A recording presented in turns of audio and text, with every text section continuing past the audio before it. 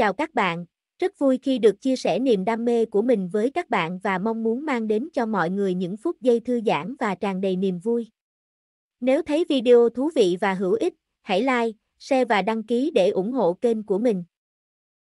Sự ủng hộ của các bạn là động lực để kênh phát triển và tạo ra nhiều nội dung tốt hơn trong tương lai. Cảm ơn các bạn. 12, chương 221, Trung thu cung yến, trong hoàng cung. Trung thu cung yến là tại Vĩnh Cùng Điện cử hành. Giờ phút này, đại điện bên trong đèn đúc sáng trưng, sáo trúc từng tiếng lọc vào tai, vũ cơ nhóm nhẹ nhàng nhảy múa, dáng dấp yểu điệu. Tiêu quân trạch ngồi ở phía trên vị trí, hai bên phân biệt ngồi là hoàng hậu cùng thái hậu, mấy tên tần phi. Tiêu mạch thành cùng đường thi họa thì theo thứ tự mà ngồi. Các vị đại thần cùng các nữ quyến mắt nhìn mũi, mũi nhìn tâm, thời khắc quan sát đến cung bữa tiệc động tĩnh. Đặc biệt là những cái kia thân mang hoa phục chưa lập gia đình các nữ tử, đều là ngo ngoe muốn động. Ánh mắt của các nàng thỉnh thoảng liếc nhìn tiêu mạch thành, một bộ thẹn thùng không thôi bộ dáng. Ninh cảnh hoài dáng vẻ lười biếng ngồi tại vị trí trước, cầm trong tay chén rượu, ánh mắt rơi vào vũ cơ trên người chúng, một bộ phóng đảng không bị trói buộc bộ dáng. Nội tâm nhã rảnh, ai, mình đôi mắt này tối nay là thâm thụ các nàng độc hại, uống qua uống lại, ở đây câu dẫn ai đâu. Khúc cuối cùng múa tất, tiêu quân trạch vuốt vuốt hơi đau mi tâm, đối vũ cơ nhóm khoát tay áo, các ngươi đều lui ra đi. Vũ cơ nhóm tại chỗ quỳ xuống, dập đầu nói, các nô tỳ cáo lui, dựa theo dĩ vãng quá trình, đến đại thần chi nữ nhóm hiến nghệ khâu.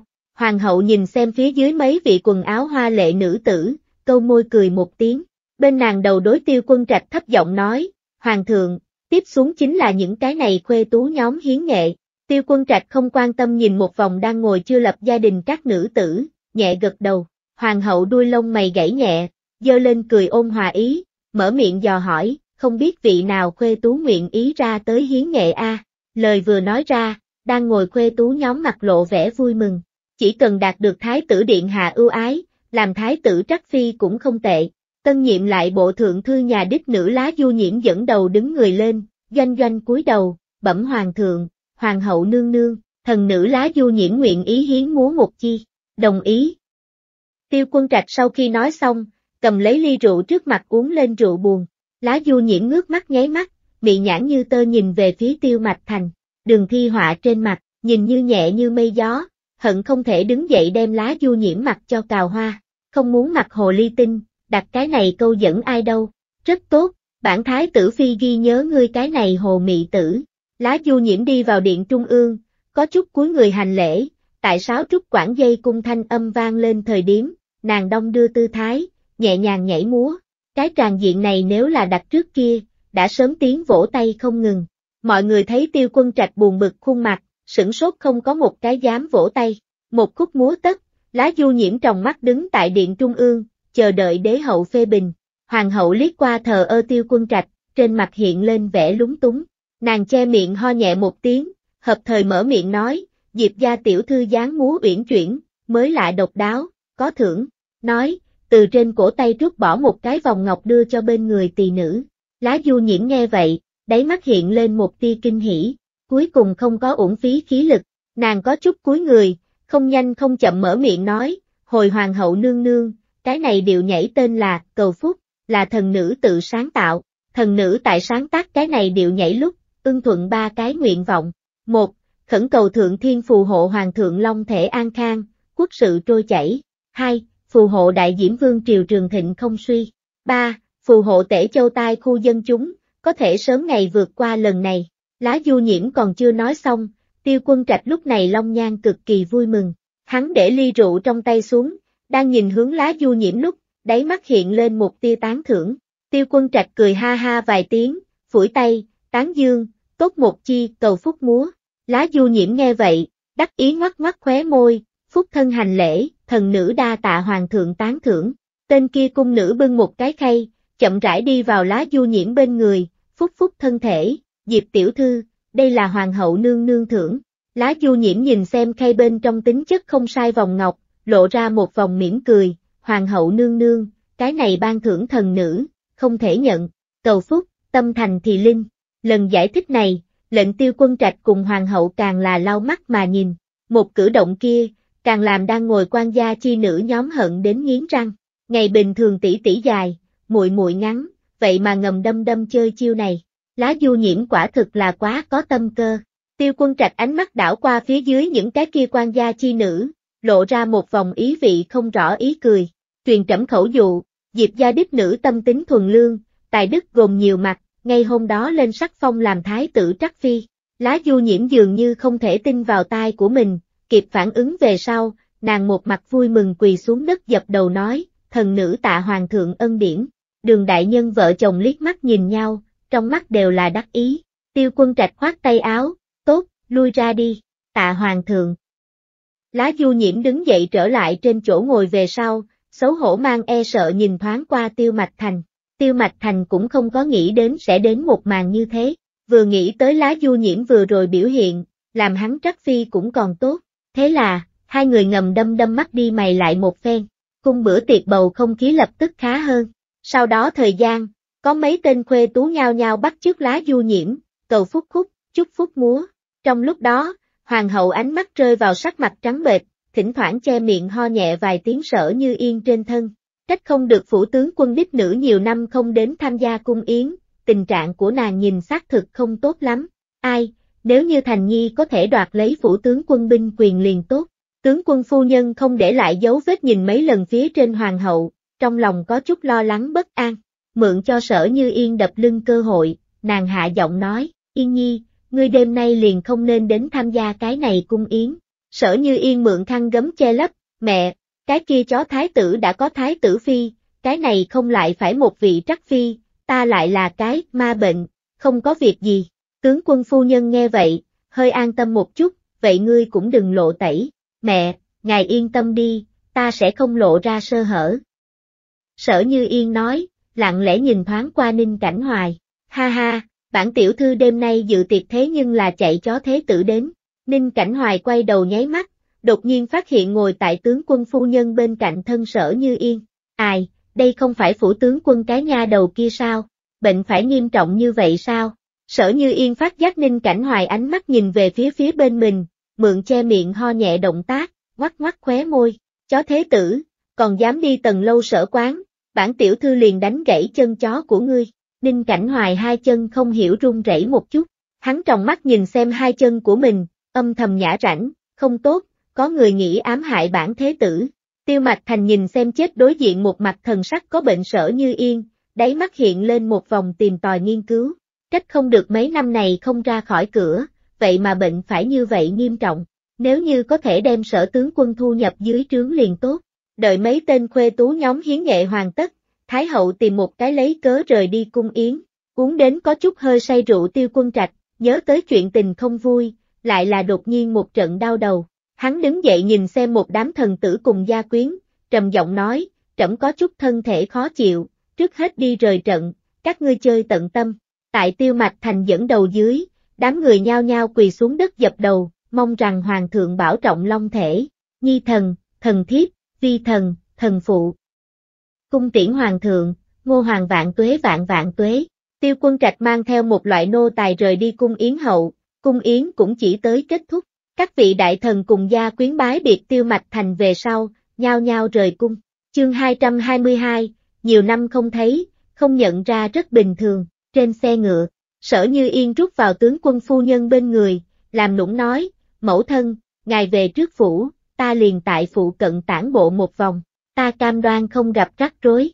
Tướng quân phu nhân đưa tay điểm nhẹ một chút sở như yên cái trán, thật sự là bắt ngươi không có cách nào, ghi nhớ lời của ngươi nói, sở như yên một mặt nhu thuận, được rồi mẫu thân, dừng xe, Sa Phu ghim chặt dây cương, cầm xuống ghế ngựa, sở như yên xuống xe ngựa về sau, nàng thiếp thân thị nữ Linh Nhi rèm xe vén lên, dặn dò, tiểu thư, ngài kiềm chế một chút, cũng đừng chơi thoát, Linh Nhi, chiếu cố tốt mẹ ta, trở về mang cho ngươi ăn ngon.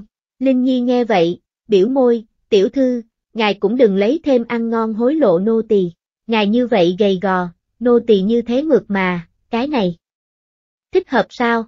Sở Như Yên đưa mắt nhìn xe ngựa sau khi rời đi, xoay người nháy mắt, bỗng nhiên nhìn về phía đứng tại hoa lâu cổng kia lau người ảnh.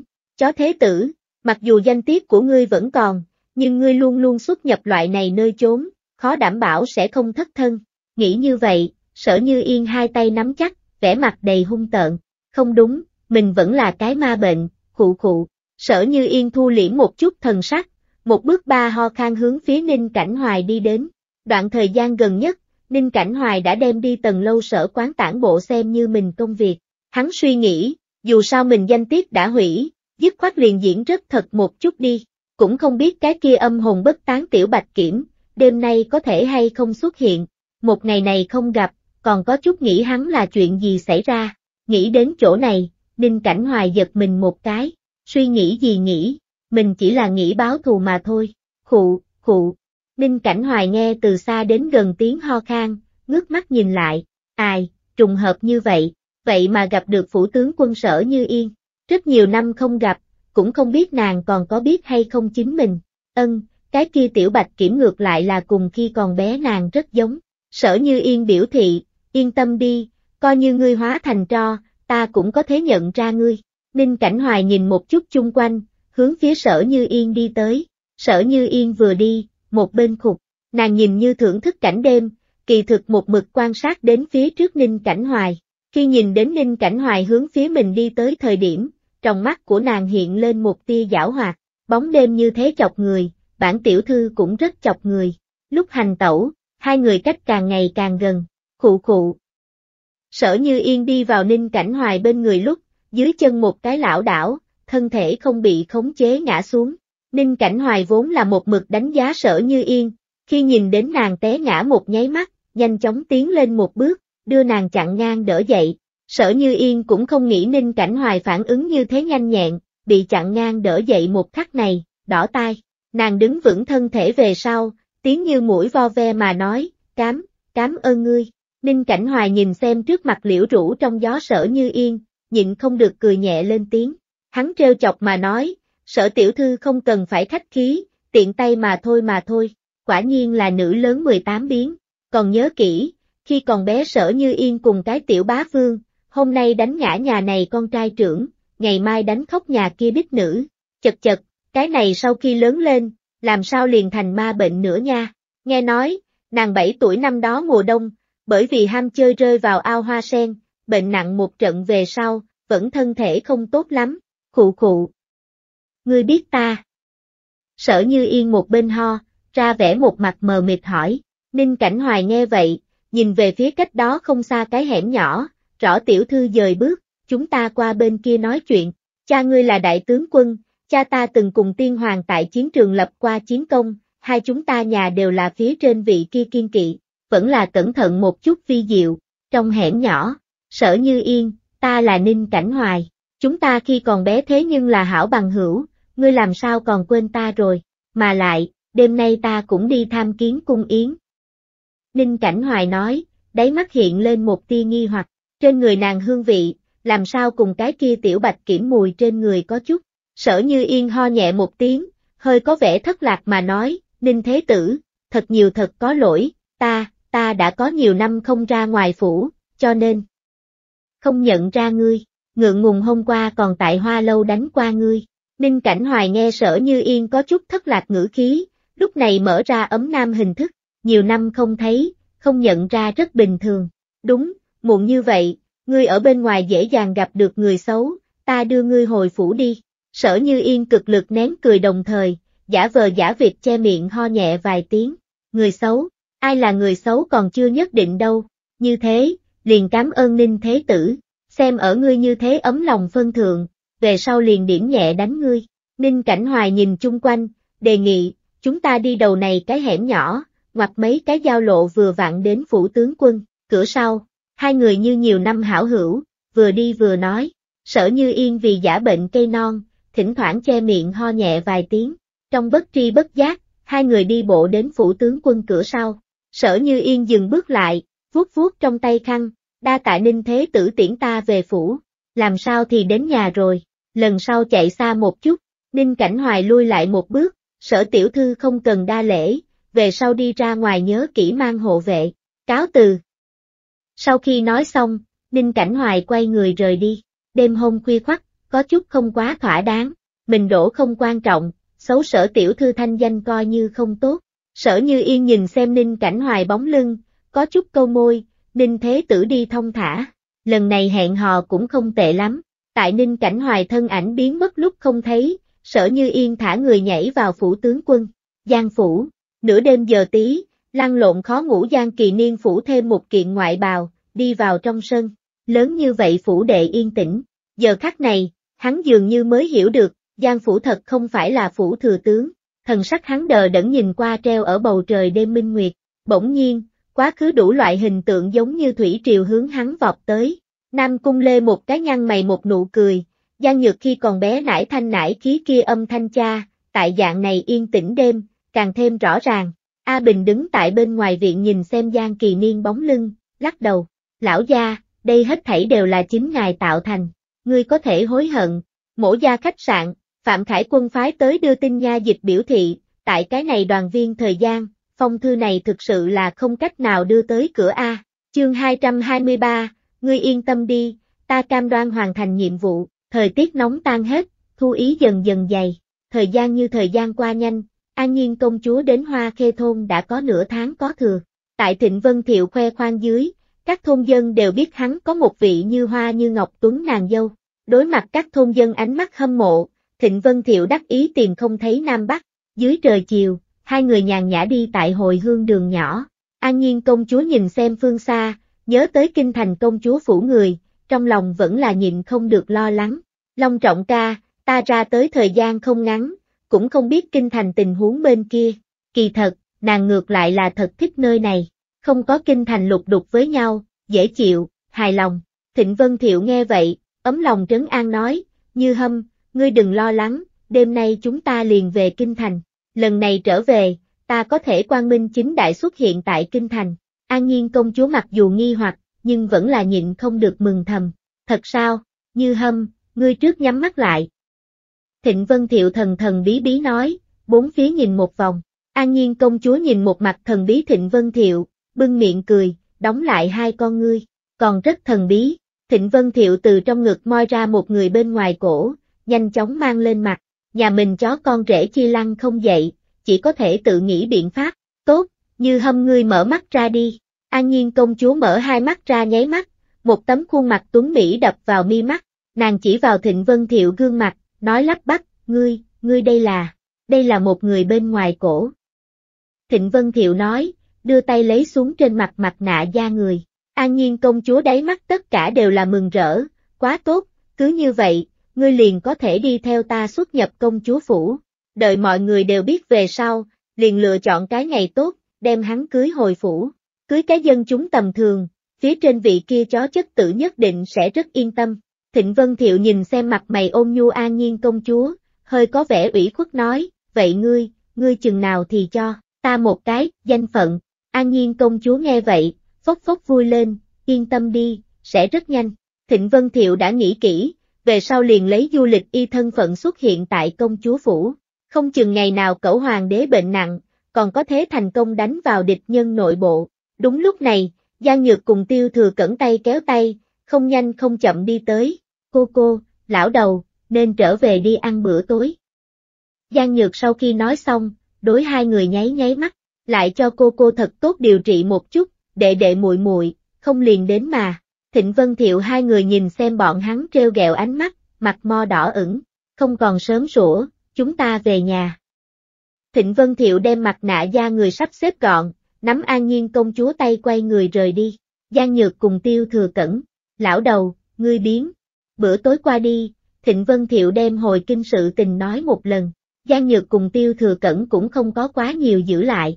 Cô cô thời gian dài không lộ diện, khẳng định sẽ khiến người khác nghi kỵ. Giang Nhược cười một tiếng, cô cô, đêm nay liền đem các ngươi đưa về kinh thành. Tiểu Phụng đã rất quen thuộc đi kinh thành lộ tuyến, là thời điểm rèn luyện một chút nó năng lực ứng biến. Lần này liền để nó đơn độc hành động, đi quá muộn, Tiểu Phụng Hoàng Hừng Đông khả năng không bay về được, không bay về được cũng không có việc gì, liền sợ bị người cho bắt được. Thịnh Vân Thiệu cũng là nghĩ đến điểm này. Hắn nhìn một chút bóng đêm đen kịt, mở miệng nói, nhược nhược, chúng ta thu thập một chút liền đi đi muộn, Tiểu Phụng không bay về được, Tiểu Phụng. Là ai? An nhiên công chúa một mặt mờ mịt, Giang Nhược cười hắc hắc, cô cô, ta giới thiệu một con phượng cho ngài nhận biết. Tiếp theo một cái chớp mắt, tiểu phụng hoàng xuất hiện trong đại sảnh, an nhiên công chúa chỉ cảm thấy trước mắt kim quang lóe lên, nàng phản ứng đầu tiên chính là kinh thành thịnh truyền thần bí kim quang, hậu tri hậu giác nàng mới phản ứng được, kinh thành những cái kia thần bí biến mất vật.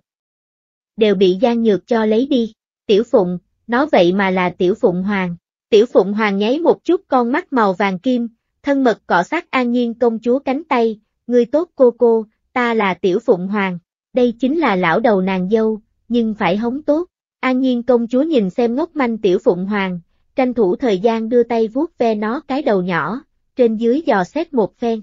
Tiểu phụng, ngươi thật thật đáng yêu, cách không được trong vòng một đêm có thể đến Tể Châu, hóa ra là tiểu phụng bay tới bay lui. Tiểu phụng hoàng lập tức bị dỗ đến tâm hoa nộ phóng, nó đắc ý liếc nhìn Giang Nhược cùng tiêu thừa cẩn, xấu hổ trả lời, cô cô cũng rất đẹp. Giang Nhược nhìn xem tiểu phụng hoàng đắc ý bộ dáng, bất đắc dĩ nâng trán. Tiểu phụng, đêm nay giao cho ngươi một cái nhiệm vụ, đem lão đầu và cô cô bình an đưa đến kinh thành. Tiểu phụng hoàng vịt một chút cánh, miệng đầy đáp ứng, tỷ tỷ, ngươi yên tâm đi, ta cam đoan hoàn thành nhiệm vụ. Ha ha, thuận tiện làm kiếm chuyện.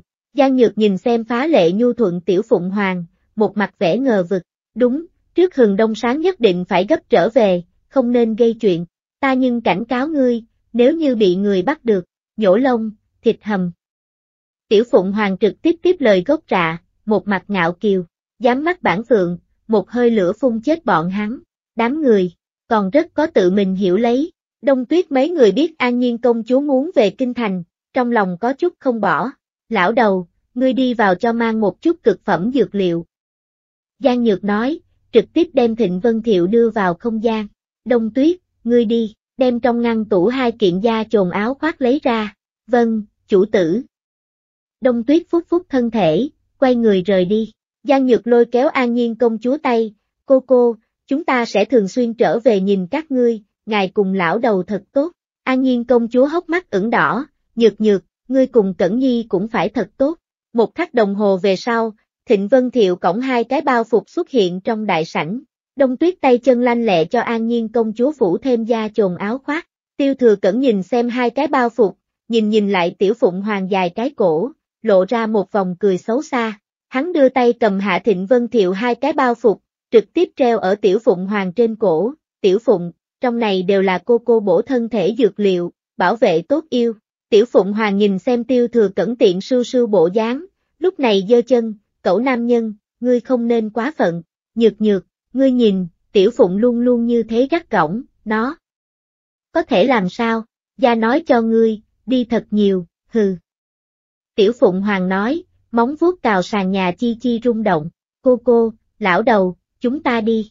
Tiểu Phụng Hoàng trên cổ treo hai cái bao phục, dẫn đầu ra phòng trước. Tại Thịnh Vân Thiệu cùng An Nhiên công chúa ngồi vững vàng về sau, Giang Nhược vừa định căn dặn nó vài câu, Tiểu Phụng A, sớm đi trở về, trên đường chú ý, hừ. Tiểu Phụng Hoàng hừ lạnh một tiếng, không lưu luyến chút nào dương cánh bay đi, trước khi đi, còn quẳng xuống ngoan thoại, tỷ tỷ, ngươi không hành hung cẩu nam nhân dừng lại, ta liền rời nhà trốn đi. Không trở lại, Tiêu thừa cẩn nhìn xem biến mất tại bầu trời đêm bóng đen, ngoắt ngoắt khóe môi, nhược nhược, tiểu phụng cái này tính tình quá lớn, rời nhà trốn đi tốt, nghe nói vì biến thành Mỹ nam tử, còn để lão đầu cho nó phối dược. Lâm quản gia mấy người nghe vậy, bất đắc dĩ lắc đầu, trở về phòng của mình. Giang nhược tại mọi người sau khi rời đi, vào tay nhéo một cái tiêu thừa cẩn gương mặt, để ngươi miệng thiếu, tiểu phụng rời nhà trốn đi, ngươi cũng ra ngoài ăn xin đi. Chương 224, nhìn da vô địch liệt hỏa, độ cao này thế nào? Tiểu Phụng Hoàng tri kỹ mà hỏi, Thịnh Vân Thiệu cẩn thận từng ly từng tí nắm cả An Nhiên công chúa, dường như linh hồn xuất khiếu. An Nhiên công chúa gặp hắn không có trả lời, che miệng ho nhẹ một tiếng, lắp bắp mà nói, nhỏ, Tiểu Phụng Hoàng, độ cao này còn có thể, ngươi tuyệt đối đừng bại lộ chính mình. Tiểu Phụng Hoàng dùng sức quịch cánh, cô cô, ngươi không cần lo lắng, ta sẽ bảo vệ tốt mình. Lão đầu, Ông tốt cô cô, ta phải thêm nhanh. Thịnh Vân Thiệu đang nghe gia tốc hai chữ lúc, vô ý thức nắm thật chặt cánh tay. Như hâm, ngươi khốn liền hiếp mắt một hồi, chúng ta sẽ rất nhanh đến kinh thành. An nhiên công chúa nhìn xem bóng đêm mịt mờ, thấp giọng thì thầm nói, thật nhiều may mắn có thể gặp được ngươi. Thịnh Vân Thiệu nghe vậy, có chút cảm khái, hết thảy đều là từ nơi sâu xa chú định tốt. Nửa đêm giờ tí, nóng lòng kiếm chuyện Tiểu Phụng Hoàng, dùng tốc độ nhanh nhất bay tới Kinh Thành. Mấy tên ám vệ nhìn xem xẹt qua bóng đen, dường như tập mãi thành thói quen, như hâm, chúng ta tốt. Thịnh Vân Thiệu nói, viện an nhiên công chúa bình ổn chạm đất, ngay sau đó, hắn vuốt ve tiểu phụng hoàng đầu, vất vả ngươi tiểu phụng, tiểu phụng hoàng một mặt ngạo kiều, đây đều là ta phải làm, cả ngày tại tỷ tỷ không gian bên trong ăn không ở không, ước gì tỷ tỷ cho mình thu xếp điểm việc làm đây, nó mới không giống cái kia yêu đương não cẩu nam nhân đâu, trừ kề cận tỷ tỷ, sẽ còn làm gì? An Nhiên công chúa nhìn một chút chung quanh, không yên lòng dặn dò, tiểu phụng, ngươi lúc trở về, nhất định phải bảo vệ tốt mình, hiểu chưa? Cô cô, ngài cứ yên tâm đi. Tiểu phụng hoàng sau khi nói xong, đưa cổ, ầy, cô cô dược liệu. Thịnh Vân Thiệu đưa tay cầm xuống bao phục về sau, hết sức nghiêm túc mà nói, về sớm một chút, đừng để nha đầu lo lắng.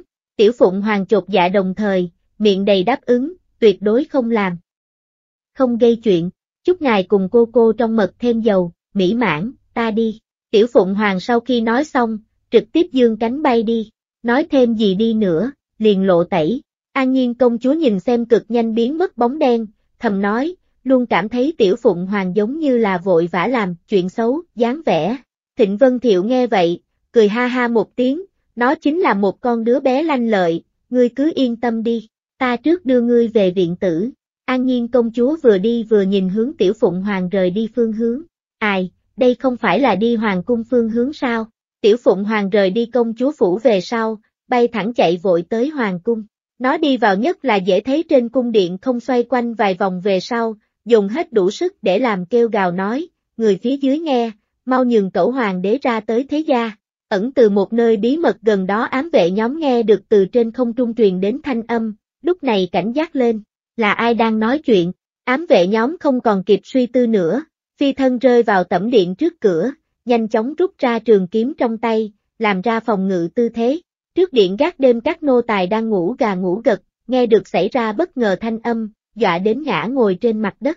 Bọn hắn kịp phản ứng về sau, hốt hoảng từ dưới đất bò dậy, hô lớn, người tới đây mau, có thích khách, hộ giá, hộ giá. Bén nhọn thanh âm tại yên tĩnh trong đêm lộ ra rất là chói tai, trong cung tuần tra ngự lâm quân sau khi nghe được, nhanh chóng áp sát tới. Ngô thống lĩnh vừa chạy vừa nghĩ, cái này người tài ba cố ý a trong lãnh cung lưới vừa thu mấy ngày, hắn liền nhảy ra khiêu khích, không được, đợi lát nữa phải kiềm chế một chút.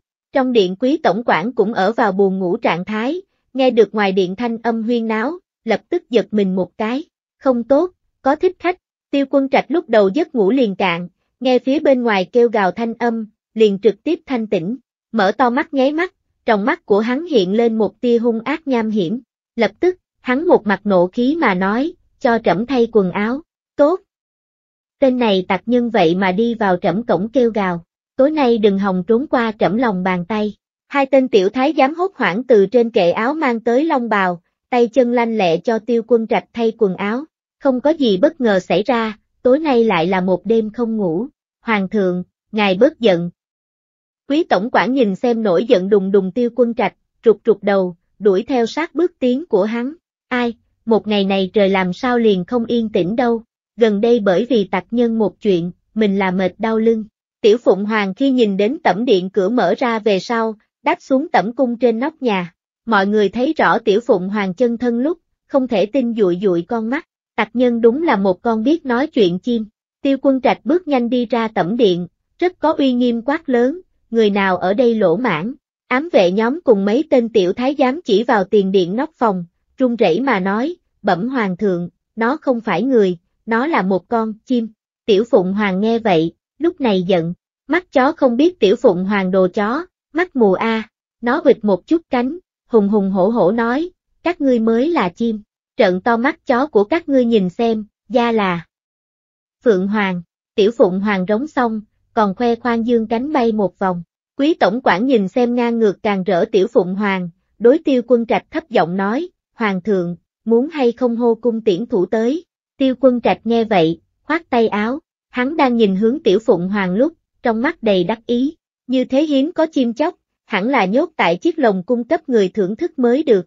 Tiểu Phụng Hoàng tai thính mắt tinh, quý tổng quản nghe là rõ ràng, ngươi cái này lão điêu nô, còn muốn hô cung tiễn thủ hại gia, ta cho ngươi biết, các ngươi tiễn căn bản liền đuổi không kịp gia, mà lại, các ngươi căn bản liền không có cơ hội xuất thủ, nhìn gia vô địch liệt hỏa. Quanh một cổ nóng rực bức người hỏa diễm từ tiểu phụng hoàng trong miệng phun ra, bay thẳng tiêu quân trạch chủ tớ mà đi. A, hộ giá, quý tổng quản lúc này hét lên một tiếng, vô ý thức đem tiêu quân trạch bảo hộ ở sau lưng. Nháy mắt sau đó, quý tổng quản mũ quan bốc cháy lên. Dưới tình thế cấp bách, quý tổng quản một cái đánh rụng trên đầu mũ, không để ý hình tượng quỷ khóc sói gào lên.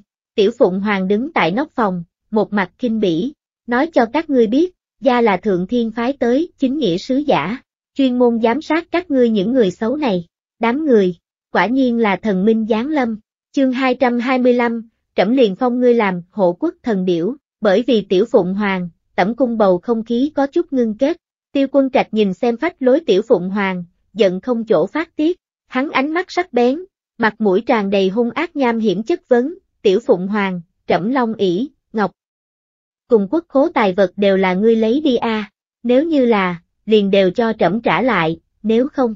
Tiểu Phụng Hoàng nhìn xem tiêu quân trạch hoàn toàn thay đổi bộ dáng, lúc này vô tình chế giễu một phen. Ha ha, ngươi long ỷ mất đi, quốc khố bị cướp, quan ta chuyện gì, ngươi cũng không nên oan uổng bản phượng nha, ta đoán a, nhất định là ngươi làm việc trái với lương tâm.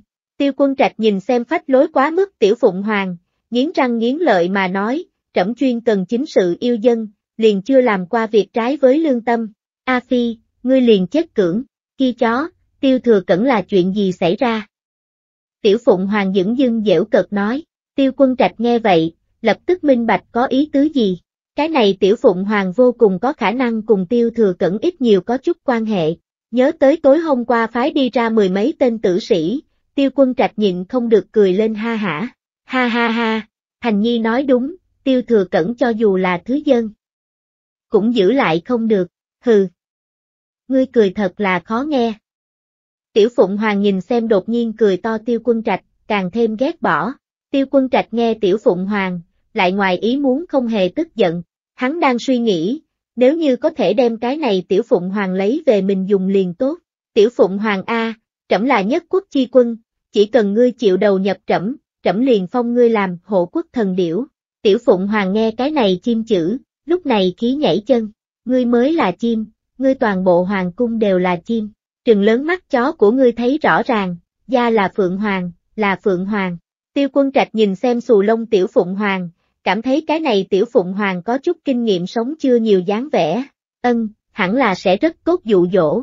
Khi trẫm liền phong ngươi làm hộ quốc thần Phượng, để ngươi tại đại diễm vương triều hưởng thụ vô thượng vinh quang. Tiêu quân trạch nói, khóe môi câu lên một vòng không rõ ý cười. Tiểu Phụng Hoàng nhìn xem không có hảo ý tiêu quân trạch, lập tức tràn ngập cảnh giác. Cẩu hoàng đế, đừng tưởng rằng gia, không biết ngươi đang có ý đồ gì, còn muốn dụ dỗ gia, không có cửa đâu. Như thế vừa so sánh, cẩu nam nhân còn tính là tốt. Tiêu quân trạch nhìn xem mềm không được cứng không xong tiểu phụng hoàng, một cổ nộ khí bay thẳng trán. Tiểu phụng hoàng, ngươi không muốn rượu mời không uống, uống rượu phạt. Đến lúc này một quá khứ, tiểu phụng hoàng cùng tiêu quân trạch đã là dương cung bạc kiếm trạng thái. Quý tổng quản đã sớm bị vừa rồi hỏa diễm sợ vỡ mật, Hắn run rẩy leo đến không đáng chú ý nơi hẻo lánh, lúc này cậu, nương ai vừa rồi kém chút chôn thay biển lửa, người nào thích hộ giá tùy hắn đi. Ngô thống lĩnh mang theo các ngự lâm quân đuổi tới tẩm cung lúc, vừa vặn nhìn thấy tiểu phụng hoàng phun lửa một màn kia. Bọn hắn liếc mắt nhìn nhau, lặng lẽ sờ sờ đứng ở một bên chờ đợi mệnh lệnh. Cái này tiểu phụng hoàng không phải dễ treo dáng vẻ, chỉ có thể hành sự tùy theo hoàn cảnh. Tiểu Phụng Hoàng vừa nghĩ tới mình là vụng trộn ra tới kiếm chuyện, liền có chút chột dạ, không được, nên trở về đi. Tiêu quân trạch ho nhẹ một tiếng, đối ám vệ nhóm đánh một cái thủ thế, hắn không khỏi đang suy nghĩ, tiêu thừa cẩn bên người có một con biết nói chuyện, biết phun lửa Phượng Hoàng, với hắn mà nói, quả thực chính là như hổ thêm cánh, nếu để cho thế nhân biết, mình hoàng vị liền càng thêm ngồi không vững, đã tiểu Phụng Hoàng không chịu nghe mình, vậy liền giết đi. Ám vệ nhóm tiếp thụ lấy tiêu quân trạch thủ thế chỉ lệnh, nắm chặt trường kiếm trong tay, chuẩn bị phi thân đến nóc phòng. Tiểu Phụng Hoàng nhìn như không đứng đắn, kỳ thực một mực quan sát đến động tác của bọn hắn. Khi nhìn đến tiêu quân trạch giết thủ thế lúc, con mắt màu vàng kim nổi lên một vòng kim quang. Muốn giết bản phượng, năng lực các ngươi, liền ở trong tối vệ môn phi thân lên nháy mắt, tiểu phụng hoàng phun ra một chùm hỏa diễm, nhanh chóng ngang quét về phía bọn hắn. Ám vệ nhóm cũng không có nghĩ đến tiểu phụng hoàng phản ứng nhanh như vậy, kinh hãi sau khi, vô ý thức về sau ngã xuống, bọn hắn không dám vi phạm thánh mệnh, lần nữa làm ra tập kích tư thế. Các ngươi đều lui ra đi, tiêu quân trạch cũng không nghĩ khiến cái này vất vả tài bồi ám vệ nhóm mất mạng, trực tiếp ngăn lại bọn hắn. Tiểu Phụng Hoàng nhìn xem toàn bộ lui lại ám vệ nhóm, cười ha ha vài tiếng, ha ha. Còn muốn ngầm cá mập da, năng lực các ngươi, gia tối nay tâm tình tốt, liền không cùng các ngươi ngu xuẩn so đo. Được rồi, không cùng các ngươi chơi, gia muốn đi, bái dứt lời, tiểu phụng hoàng quịch cánh đằng không mà lên. Tiêu quân trạch nhìn xem hướng phía tây nam phương hướng bay đi tiểu phụng hoàng, lập tức gấp, nó nhất định là đi tìm tiêu thừa cẩn, nhanh cho trẫm bắt được nó, tuyệt đối không được để nó chạy trốn. Ám vệ nhóm nghe vậy, vô ý thức phi thân đuổi theo. Ngô thống lĩnh đưa mắt nhìn tiểu phụng hoàng bay đi về sau, giả vờ giả việc hô, nhanh, cho bản thống lĩnh truy. Nương ài, hoàng thượng đây là để bọn hắn đi chịu chết a. Các ngự lâm quân kịp phản ứng về sau, phần phật rời đi tiêu quân trạch tẩm cung. Tiểu phụng hoàng nghe tiêu quân trạch tiếng kêu to, kinh bỉ nhìn thoáng qua những cái kia luống cúng tay chân người. Hắc hắc, có lẽ đây chính là kiếm chuyện vui vẻ đi. Nộ khí trùng thiên tiêu quân trạch cưỡng chế trong cổ ngai ngái, gắt gao nhìn chầm chầm tiểu phụng hoàng rời đi phương hướng. Tiêu thừa cẩn, ngươi vì cái gì liền không an phận đâu. Hạ độc, độc không chết, giết cũng giết không được, ngươi thật đúng là mệnh cứng rắn. Quý tổng quản từ dưới đất bò dậy, nơm nớp lo sợ đi vào tiêu quân trạch bên người, hoàng thượng, mời ngài bớt giận. Cái này tiểu phụng hoàng ngông cuồng như thế, sớm muộn cũng sẽ bị người bắt được. Tiêu quân trạch nghe vậy, hừ lạnh một tiếng, nhấc chân về tẩm điện, bị người bắt được. Những cái này ám vệ nhóm thân thủ đều là đỉnh tim, đều không có bắt được, chớ nói chi là người khác. Kinh tiểu phụng hoàng như thế nháo trò, hậu cung các nữ nhân đều biết tối nay có một con phượng hoàng tới cửa khiêu khích tiêu quân trạch, đặc biệt là hoàng hậu, nàng kinh ngạc sau khi, đáy mắt đều là tham lam, thế gian vậy mà thật sự có phượng hoàng tồn tại, nàng tròng mắt nhìn xem mình phượng bào, câu lên một vòng ý cười, trước hừng đông sáng, tiểu phụng hoàng bay trở về hoa khê thôn, rơi xuống đất một khắc này, nó liền thẳng đến gian nhược gian phòng, tỷ tỷ, ta trở về, tiêu thừa cẩn nghe phía bên ngoài động tĩnh, nhanh chóng đứng dậy, hắn mở cửa về sau, hạ giọng, ngươi nói nhỏ thôi, tiểu phụng hoàng không thèm đế ý tiêu thừa cẩn, nghênh ngang đi vào phòng, tỷ tỷ, ngươi tỉnh, ta trở về, ta đã đem cô cô cùng lão đầu thuận lợi đưa đến công chúa phủ. Tiểu phụng hoàng thanh âm bên trong mang theo vẻ đắc ý, Giang Nhược dụi dụi con mắt, đứng dậy xuống giường. Không đúng, tiểu phụng hoàng giống như phá lệ hưng phấn, hẳn là, nó vụng trộn đi kiếm chuyện, nghĩ đến chỗ này, Giang Nhược lập tức tỉnh táo lại, nàng có ý riêng mà hỏi, tiểu phụng, tối nay chơi vui vẻ sao? Tiểu phụng hoàng không hề nghĩ ngợi, bật thốt lên, phi thường vui vẻ, kém chút đem chó hoàng đế cho khí nhã. Tại Giang Nhược nhìn chăm chú, tiểu phụng hoàng thanh âm im bặt mà dừng, mà trên người nó kia cổ đắc ý lực, lập tức tan thành mây khói. Tỷ tỷ, ta sai, ta không nên đi hoàng cung kiếm chuyện. Giang Nhược trên dưới dò xét một phen tiểu phụng hoàng, phát hiện nó không bị tổn thương, hơi thở dài một hơi. Kiếm chuyện không có việc gì, liền sợ ngươi thụ thương. Nói một chút đi, ngươi đều là làm sao kiếm chuyện. Tiểu Phụng Hoàng liếc qua đứng bên người tiêu thừa cẩn, lặng lẽ hướng Giang Nhược bên người xê dịch, ta đi khiêu khích cẩu hoàng đế. Sau đó, hắn còn đuổi theo muốn phong ta làm hộ quốc thần phượng. Thân tâm của ta đều là thuộc về tỷ tỷ, mới sẽ không bị hắn thu mua. Tiểu Phụng Hoàng nói xong lời cuối cùng, một mặt đắc ý. Giang Nhược đưa tay vuốt ve Tiểu Phụng Hoàng đầu, cười hắc hắc. Nhà ta Tiểu Phụng lớn lên, đều sẽ nói dỗ ngon dỗ ngọt.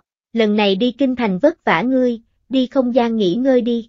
Giang Nhược đem Tiểu Phụng Hoàng đưa vào không gian về sau, nhịn không được cười nhẹ một tiếng. Hộ quốc thần phượng, cẩu hoàng đế là thật được a người ngoài cuộc một loại tiêu thừa cẩn. Tiểu Phụng một mình đi ra ngoài một chuyến, đều học xong nói ngon nói ngọt. Chương 226, Ai gia đặt cách hắn không cần tuân thủ trong cung phép tắc, hôm sau, Tiểu Phụng Hoàng xuất hiện tại Hoàng cung sự tình truyền khắp phố lớn ngõ nhỏ, dân chúng cái kia kích động, đây chính là biểu tượng điềm lành Phượng Hoàng A. Đại Diễm Vương Triều lại có như thế thần thú, nếu có thể mở mang kiến thức một chút liền tốt. Đêm qua ngô thống lĩnh mang theo người náo ra động tĩnh rất lớn, các ngự lâm quân giả vờ giả vịt khắp nơi điều tra, trong đó mấy tên ngự lâm quân đối với tiêu quân trạch để bọn hắn bắt tiểu phụng hoàng một chuyện mà cào nhào, không phải sao, vừa vặn bị những cái kia bị đánh thức dân chúng nghe đi. Biết các ngự lâm quân phụng tiêu quân trạch mệnh đuổi bắt tiểu phụng hoàng, dân chúng có chút khó chịu. Đương kim hoàng thượng không chiếm được tiểu phụng hoàng, còn muốn đem tiểu phụng hoàng bắt trở lại, quả thực là quá mức. Vì thế, dân chúng trong bóng tối khiển trách tiêu quân trạch. Tin tức truyền về công chúa phủ về sau, an nhiên công chúa liền biết tiểu phụng hoàng ban đêm xông vào hoàng cung. Thịnh Vân Thiệu nghe nói tin tức này, thả ra trong tay quân cờ. Như hâm, ngươi không cần lo lắng, tiểu phụng hẳn là không bị bắt được.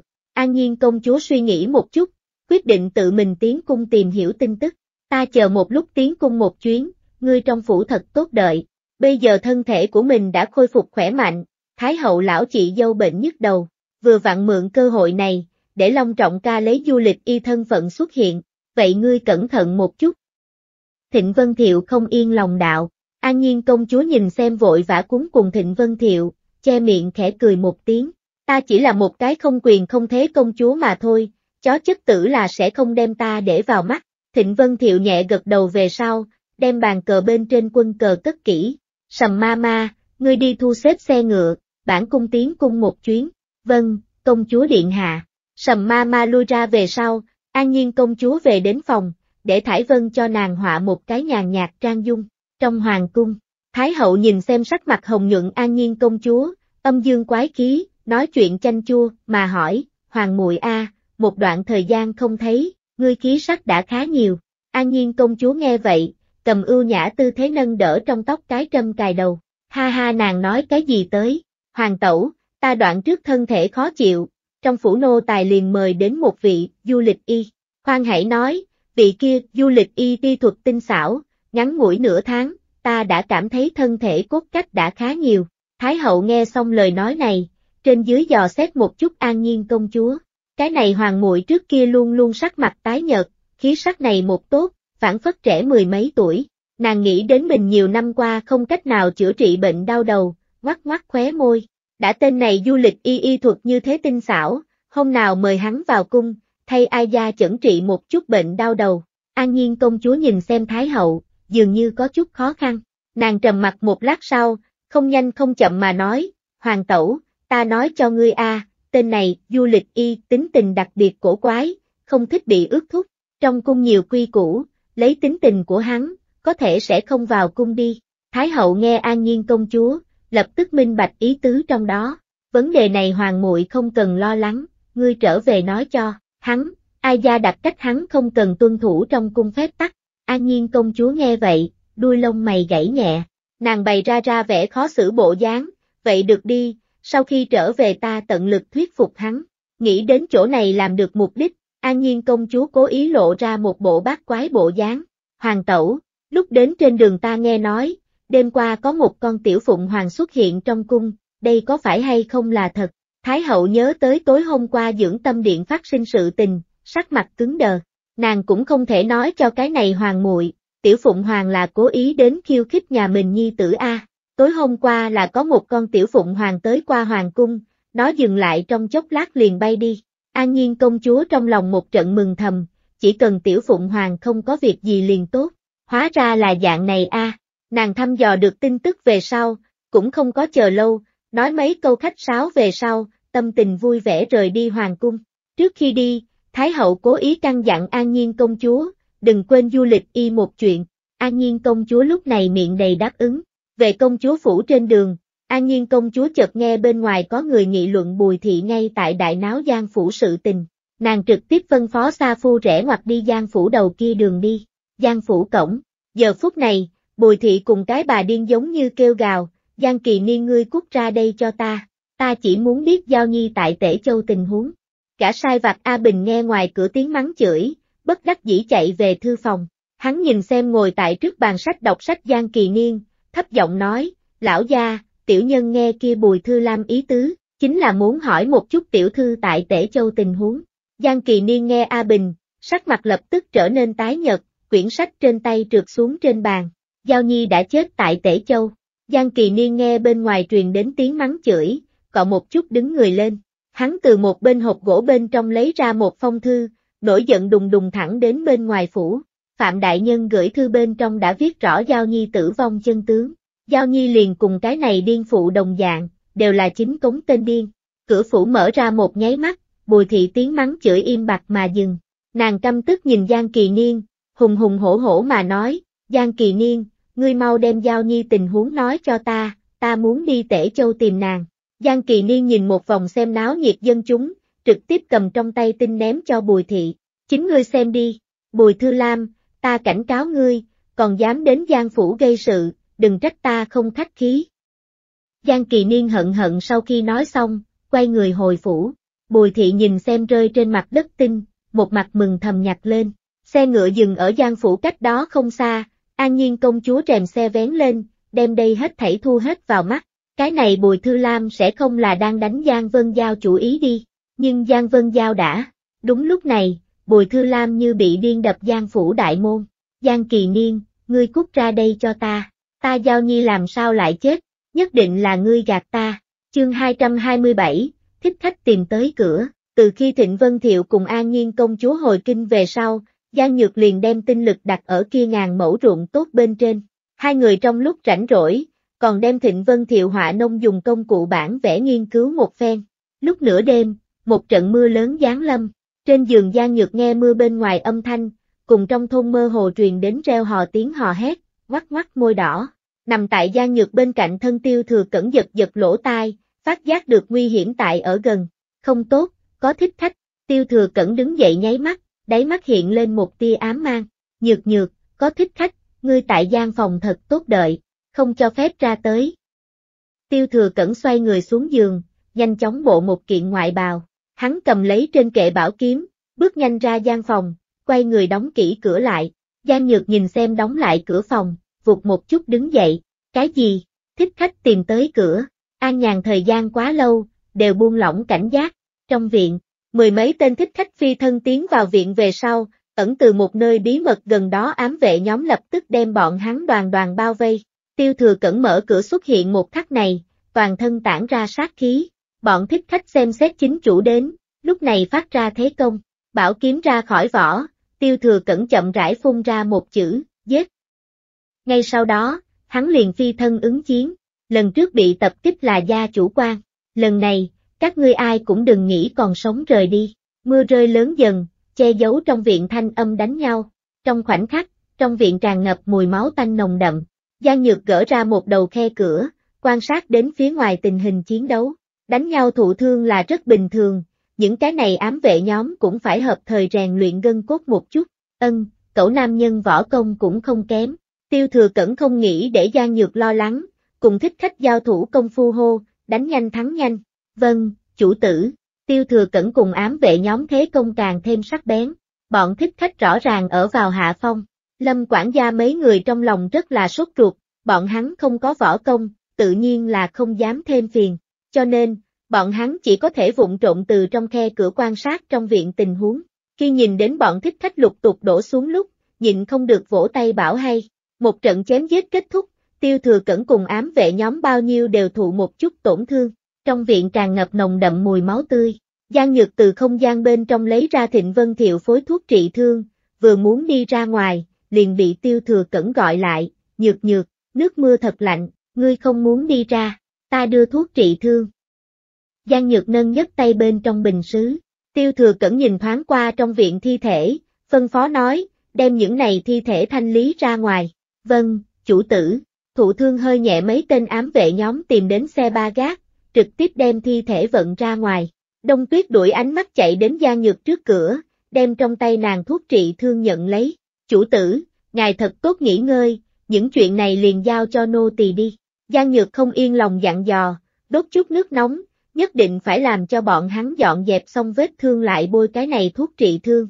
Vâng, chủ tử. Đông tuyết cầm thuốc trị thương, quay người rời đi.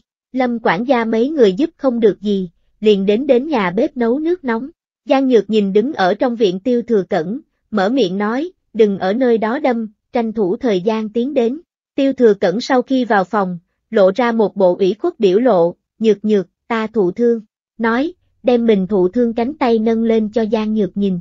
Giang Nhược ngước mắt nhìn xem liếc mắt trà xanh hề hề tiêu thừa cẩn, ho nhẹ một tiếng về sau, giả vờ giả việc cho hắn kiểm tra vết thương, điểm ấy nhỏ. Cái này tổn thương có chút nghiêm trọng, dáng vẻ, làm không tốt sẽ lưu sẹo.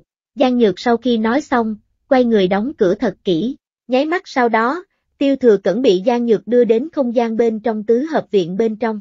Trên nóc nhà tiểu phụng hoàng nhìn cả người ướt đẫm, chật vật không chịu nổi tiêu thừa cẩn, nhìn không được chế giễu một phen. Ha ha, cậu nam nhân, ngươi sẽ không phải là trong đêm không xem trọng đường, rơi trong giếng đi. Dứt lời, tiểu phụng hoàng dương cánh đáp xuống tiêu thừa cẩn bên người, vây quanh hắn đổi tới đổi lui. Tiêu thừa cẩn nhìn xem trước mặt cười trên nỗi đau của người khác tiểu phụng hoàng, càng thêm ủy khuất, nhược nhược, miệng vết thương của ta đau quá. Giang nhược nhìn xem một người một phượng, bất đắc dĩ nâng trán, tiểu phụng, hắn không có rơi trong giếng. Bên ngoài trời mưa to, vừa vặn đến một chút thích khách, cho nên hắn mới làm thành cái dạng này. Tiểu Phụng Hoàng nghe vậy, thu hồi đắc ý biểu lộ, hóa ra là dạng này a, chật chật, cuối cùng có thế thay tỷ tỷ chia sẻ một ít chuyện. Tỷ tỷ, lần sau xảy ra chuyện như vậy, ngươi liền kêu gọi ta, ta giúp ngươi giải quyết bọn hắn. Tiêu thừa cẩn hừ lạnh một tiếng, không nhanh không chậm mà nói, trời mưa to thời điểm, ngươi có thể bay phải động sao, mà lại, ngươi vô địch liệt hỏa còn không có phun ra miệng. Liền diệt, còn hỗ trợ. Chúng ta còn phải vội vàng cứu ngươi, tiểu phụng hoàng nghe vậy, lúc này xù lông lên, cẩu nam nhân, bản phượng chỉ như vậy một cái nhược điểm, hừ. Giang Nhược nhìn xem kiếm phát nỏ trương một người một phượng, xoay người đi phòng tắm, tiêu thừa cẩn, tiến đến tắm rửa, nghe Giang Nhược lời nói, tiêu thừa cẩn một mặt đắc ý quay người tiến phòng tắm, tiểu phụng hoàng nhìn xem cái sân trống rỗng, một mặt buồn bực bay lên nóc phòng, đây là nước linh tuyền, sẽ để cho miệng vết thương của ngươi rất nhanh khép lại. Giang Nhược sau khi nói xong, đem khăn tắm cùng quần áo để ở một bên trên kệ, tiêu thừa cẩn, ai, vốn còn nghĩ dùng điểm ấy vết thương nhỏ để nhược nhược nhiều yêu thương mình mấy ngày, cái này lại la ó, lập tức liền khép lại, nhược nhược, ta biết, Giang Nhược cũng không có phát giác tiêu thừa cẩn điểm ấy tiểu tâm tư, sau khi nói xong, trực tiếp ra phòng tắm, trên nóc nhà tiểu phụng hoàng nhìn thấy Giang Nhược sau khi ra ngoài, phi thường nhu thuận nói, tỷ tỷ, trong ruộng lúa mì thành thục, ngươi đi thu một cái đi, hắc hắc, trước chi đi tỷ tỷ, đợi lát nữa cậu nam nhân tắm rửa xong, đem hắn lừa gạt đi núi bên kia. Ném đi, biết, quản gia phượng, bình thường không gian trong ruộng cây nông nghiệp thành thục, tiểu phụng hoàng đều sẽ gọi vài tiếng thông báo Giang Nhược. Tiểu phụng hoàng kiểu nói này, Giang Nhược cũng không có hoài nghi, vui vẻ chạy tới thu lương thực. Tiêu thừa cẩn sợ Giang Nhược chờ gấp, dùng tốc độ nhanh nhất tắm rửa xong. Hắn đem phòng tắm thu thập một phen về sau, hất lên tóc dài ra phòng tắm. Tiểu Phụng Hoàng nhìn thấy cửa phòng mở ra về sau, con mắt màu vàng kim hiện lên một vòng u quang. Nó rơi vào tiêu thừa cẩn trước mặt, dùng mười phần thành khẩn giọng nói, tỷ tỷ đi, bận biệu, ngươi nếu là cảm thấy nhàm chán, ta dẫn ngươi đi, trượt một vòng ra. Tiêu thừa cẩn nhìn xem có chút ân cần tiểu phụng hoàng, cảnh giác nói, ngươi mà hảo tâm như vậy, nói, ngươi đang đánh cái gì chủ ý xấu, cậu nam nhân, ta chính là hảo tâm, mang ngươi thưởng thức một chút nơi này phong cảnh, ta khuyên ngươi không muốn không biết tốt xấu. Tiểu Phụng Hoàng giữ dằn sau khi nói xong, đem đầu ngoặt về phía một bên, bằng ta cái này ba tất không nát miệng lưỡi, ngươi không mắc mưu, đều không có thiên lý. Tiêu thừa cẩn nhìn xem tức giận Tiểu Phụng Hoàng, trong lòng hơi ấy nấy như vậy một nhỏ dưới, hắn đang suy nghĩ, hẳn là, là mình lo ngại, vậy liền vất vả ngươi tiểu phụng, tiểu phụng hoàng nghe vậy, trong lòng một trận mừng thầm, được rồi, chúng ta đều là người một nhà, lên đây đi, tiểu phụng hoàng dương cánh cất cánh về sau, thẳng đến xa nhất ngọn núi kia, Giang Nhược nhìn xem gấp hô hô bay đi tiểu phụng hoàng, một tráng dấu chấm hỏi, gấp gáp như vậy, tiểu phụng hoàng mang theo tiêu thừa cẩn đi làm cái gì rồi, bởi vì tiểu phụng hoàng phi tốc quá nhanh, tiêu thừa cẩn cúi người nhìn xuống đi, căn bản liền thấy không rõ lắm. Tiểu Phụng, ngươi bay chậm một chút, Tiểu Phụng Hoàng cũng không trả lời, mà là bay càng thêm ra sức, chậm một chút, không có khả năng. Tiêu thừa cẩn hậu tri hậu giác phát giác được không thích hợp, hắn đưa tay bóp lấy Tiểu Phụng Hoàng sau cái cổ, uy hiếp nói, thả ta xuống dưới, bị bóp chặt vận mệnh sau cái cổ Tiểu Phụng Hoàng nháy một chút con mắt, trực tiếp hạ xuống. Tiêu thừa cẩn đứng vững về sau, đầu tiên là quan sát một chút chung quanh, những cái này hẳn là dược thảo đi.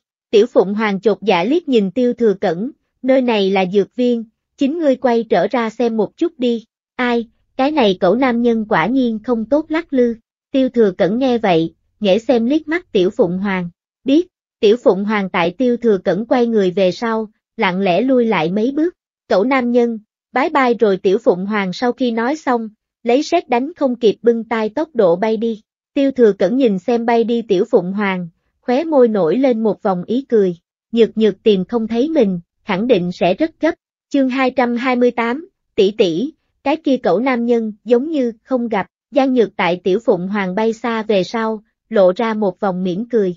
Bọn hắn thật vất vả có thể hữu hảo chung sống, liền để bọn hắn đơn độc đợi cùng một chỗ, bồi dưỡng một chút tình cảm. Thế là, Giang Nhược từ phòng chứa đồ lay ra ô giấy dầu, yên tâm ra không gian. Giờ phút này, trong viện vết máu đã sớm bị nước mưa rửa sạch. Giang Nhược mở cửa phòng thời điểm, vẫn như cũ có thể nghe được nhàn nhạt mùi máu tươi. Nàng chống đỡ ô giấy dầu, bước nhanh đi vào nhà bếp. Chủ tử, ngài làm sao ra tới rồi? Đông Tuyết nói, tiếp nhận gian Nhược trong tay ô giấy dầu, ta tới xem một chút, a đúng, tìm cho ta một cái sạch sẽ sứ bồn. Giang Nhược nói, từ không gian lấy ra hộp gỗ đặt lên bàn, liễu ma ma nghe vậy, mau từ tủ bát bên trong lấy ra một cái sứ bồn để lên bàn, đông tuyết, ngươi lại thêm cây đuốc, được rồi, Giang Nhược nhìn xem xoay người bận rộn hai người, mỉm cười, nháy mắt sau đó, sứ trong chậu đựng đầy nước linh tuyền, đông tuyết, đợi lát nữa dùng cái này chậu nước cho bọn hắn hầm một chút súp nhân sâm. Đông tuyết nhìn xem trên bàn hộp gỗ, thanh âm có chút nghẹn ngào, vâng, chủ tử. Liễu ma ma cầm lấy ô giấy dầu, chủ tử, không còn sớm sủa, ngài tranh thủ thời gian nghỉ ngơi đi, vất vả các ngươi. Giang Nhược tiếp nhận ô giấy dầu, trực tiếp trở về phòng. Vì cho thêm tiêu thừa cẩn cùng tiểu phụng hoàng một chút thời gian, Giang Nhược cố ý nằm trên giường trong chốc lát, cảm thấy chênh lệch thời gian không nhiều, nàng mới tiến không gian. Tiểu Phụng Hoàng tại Giang Nhược xuất hiện một khắc này, từ trên nóc nhà bay xuống dưới, nó ra vẻ nóng nảy nói ra, tỷ tỷ, cái kia cậu nam nhân, giống như, không gặp, Giang Nhược nghe vậy, khóe môi câu lên một vòng không rõ ý cười, lớn như vậy người liền không gặp rồi, nàng ngầm đâm đâm nghĩ, tiểu Phụng Hoàng sẽ không đem tiêu thừa cẩn cho ném trên núi đi đi, dù sao ta tìm không thấy hắn.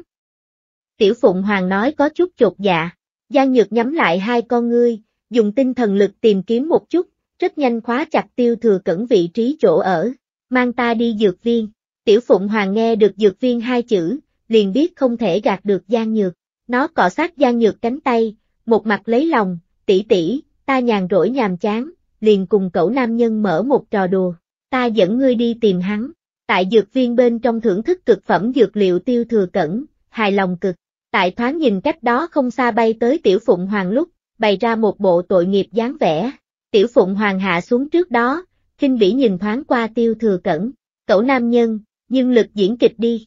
Giang Nhược nhìn đứng ở dược viên, hất lên tóc dài tiêu thừa cẩn, phốc phốc vui lên, rơi xuống đất nháy mắt, nàng liền chạy tới tiêu thừa cẩn bên người.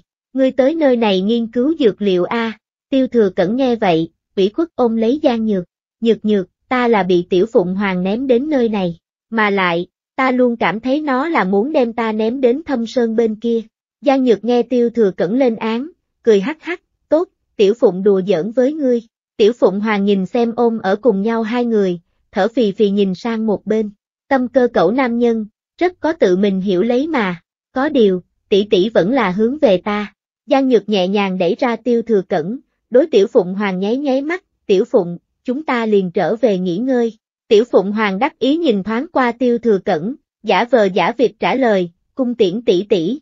Hôm sau, dùng qua đồ ăn sáng về sau, Giang Nhược cùng mọi người ngồi cùng một chỗ mở một cái tiểu hội nghị. Giang Nhược nhìn xem biểu lộ nghiêm túc mấy người, nhìn không được cười nhẹ một tiếng. Chúng ta đi vào Tể Châu, cũng không thể luôn luôn nhàn rỗi, ta trước tiên đem cầm ngàn mẫu ruộng tốt quản lý tốt, chờ sau này, chúng ta đều ở nơi này dưỡng lão. Có điều, trước lúc này, chúng ta muốn trước dẫn đầu bận rộn một năm, chờ sau này đi vào quỹ đạo, tìm chuyên gia quản lý những cái này ruộng tốt. Lâm quản gia mấy người nghe vậy, trăm miệng một lời, chủ tử, những cái này ruộng tốt từ chúng ta quản lý liền tốt. Tại chủ tử mua xuống ruộng tốt về sau, bọn hắn liền cố ý tìm tới một chút có quan hệ nông nghiệp thư tịch, sớm học tập một chút, không phải liền là hoa màu nha, tuyệt đối cho chỉnh rõ ràng. Giang Nhược nhìn xem mấy người lòng tin tràn đầy bộ dáng, chợt nhớ tới ngày nào đó mấy người tụ cùng một chỗ đọc sách tình cảnh. Tốt a, đây là sớm làm qua công khóa. Nàng cười một tiếng, mở miệng nói, nhà ta ruộng nhiều, phải cần không ít người, liền thuê trong thôn cùng ruộng đất thôn dân chung quanh liền tốt. Chúng ta mướn người chỉ có hai cái yêu cầu, không thể trộn gian dùng mánh lới, nghe theo chỉ huy. Sau đó, Giang Nhược nói một lần ruộng tốt quy hoạch, cùng công nhân làm thuê phúc lợi, tiền công chờ.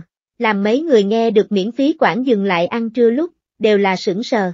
Giang Nhược nhìn xem mấy người ngu ngơ bộ dáng, giải thích nói, mọi người ăn no, mới có khí lực làm việc. Đến lúc đó, lại thuê trong thôn những cái kia phẩm hạnh hơi tốt các đại thẩm bận rộn nấu cơm, cũng coi là nhà các nàng bên trong gia tăng một chút thu nhập. Lâm Thúc, liền từ ngươi đến thu xếp mướn người một chuyện, ghi việc đã làm cùng tiền công sự tình, liền giao cho kỹ thúc. Lĩnh được việc phải làm hai người rất là vui vẻ, chủ tử, ngài yên tâm, chúng ta sẽ làm thỏa những chuyện này. Hội nghị kết thúc về sau, Giang Nhược kéo lấy muốn nói lại thôi tiêu thừa cẩn về thư phòng. Giang Nhược nhìn xem ấp úng tiêu thừa cẩn, câu môi cười một tiếng, nói đi, ngươi có ý kiến gì? Tiêu thừa cẩn trầm mặt một lát sau, mở miệng nói, nhược nhược, tể châu bên này ruộng đồng càng cỗi, các thôn dân quanh năm suốt tháng, tự như là chỉ loại mùa xuân cái này một mùa. Nói xong lời cuối cùng, tiêu thừa cẩn lo lắng nhìn thoáng qua Giang Nhược, làm ruộng phương diện này hắn không hiểu, hắn chính là sợ tân tân khổ khổ trồng lên, sang năm lại không thu hoạch được một hạt nào. Như vậy, hắn nhược nhược nên sẽ rất thất vọng đi.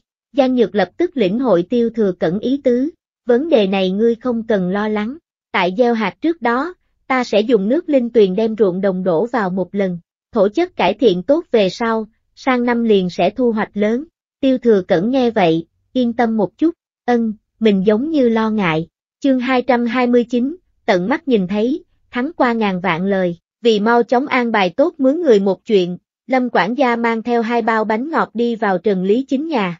Trần Lý Chính, nhà ta chủ tử muốn tại kia ngàn mẫu ruộng tốt trồng lên lúa mì, sẽ cần một chút tráng lao lực, cho nên, ta liền cố ý đến tìm Lý Chính thương lượng một chút mướn người sự tình.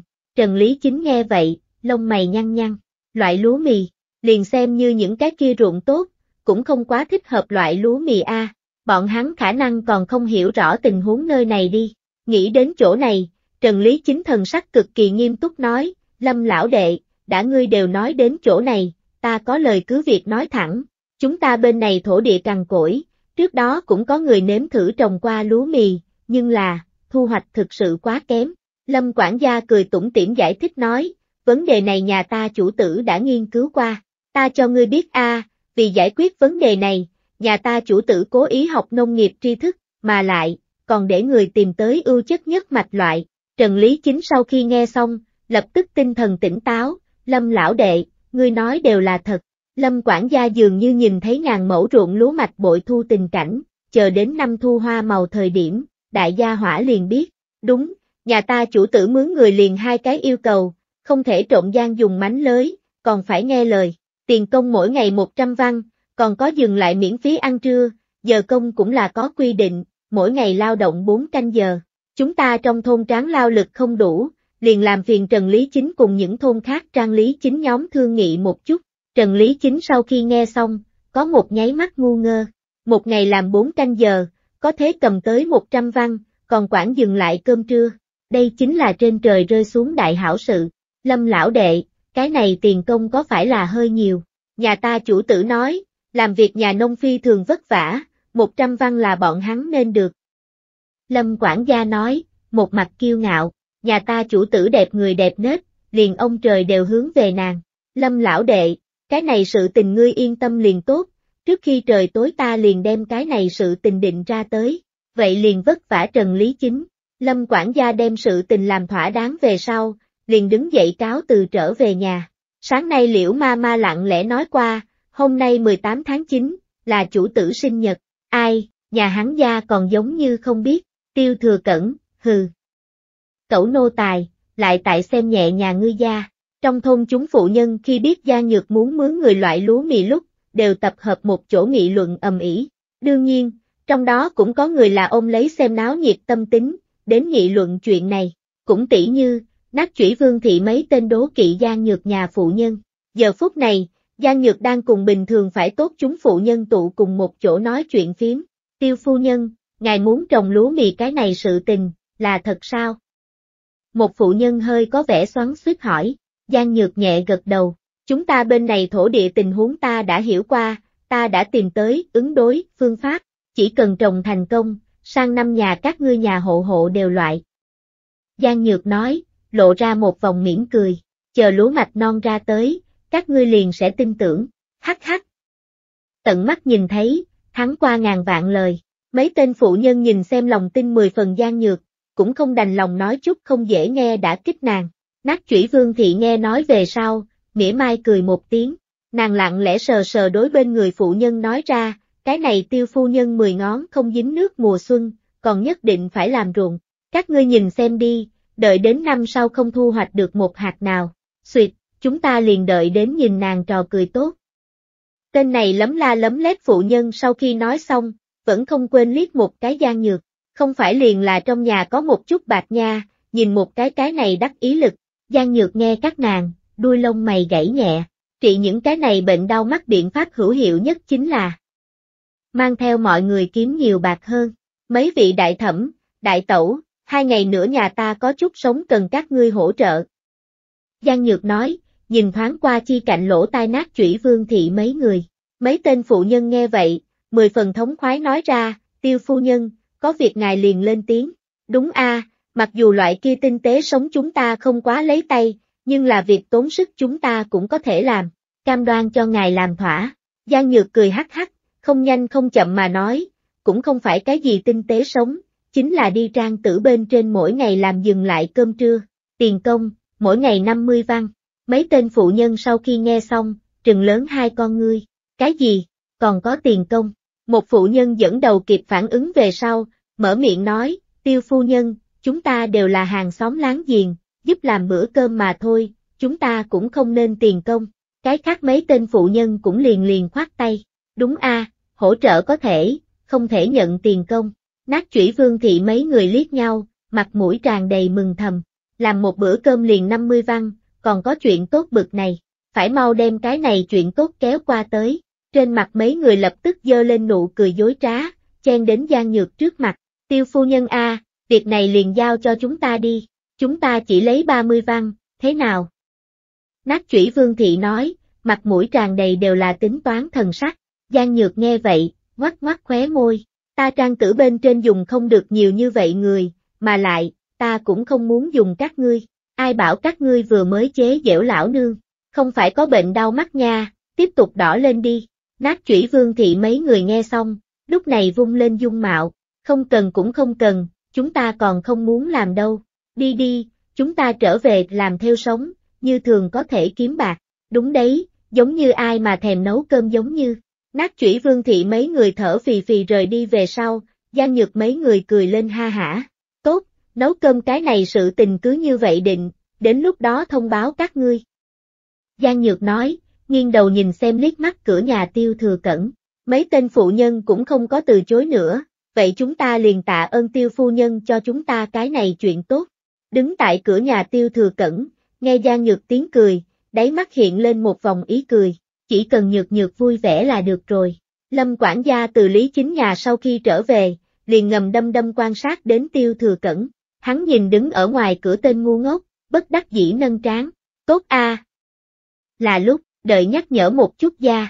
Lâm quản gia thả nhẹ bước chân, lặng lẽ sờ sờ đi vào tiêu thừa cẩn sau lưng. Gia, ngài là không phải quên cái gì chuyện trọng yếu rồi. Tiêu thừa cẩn kỳ thật nghe được sau lưng tiếng bước chân.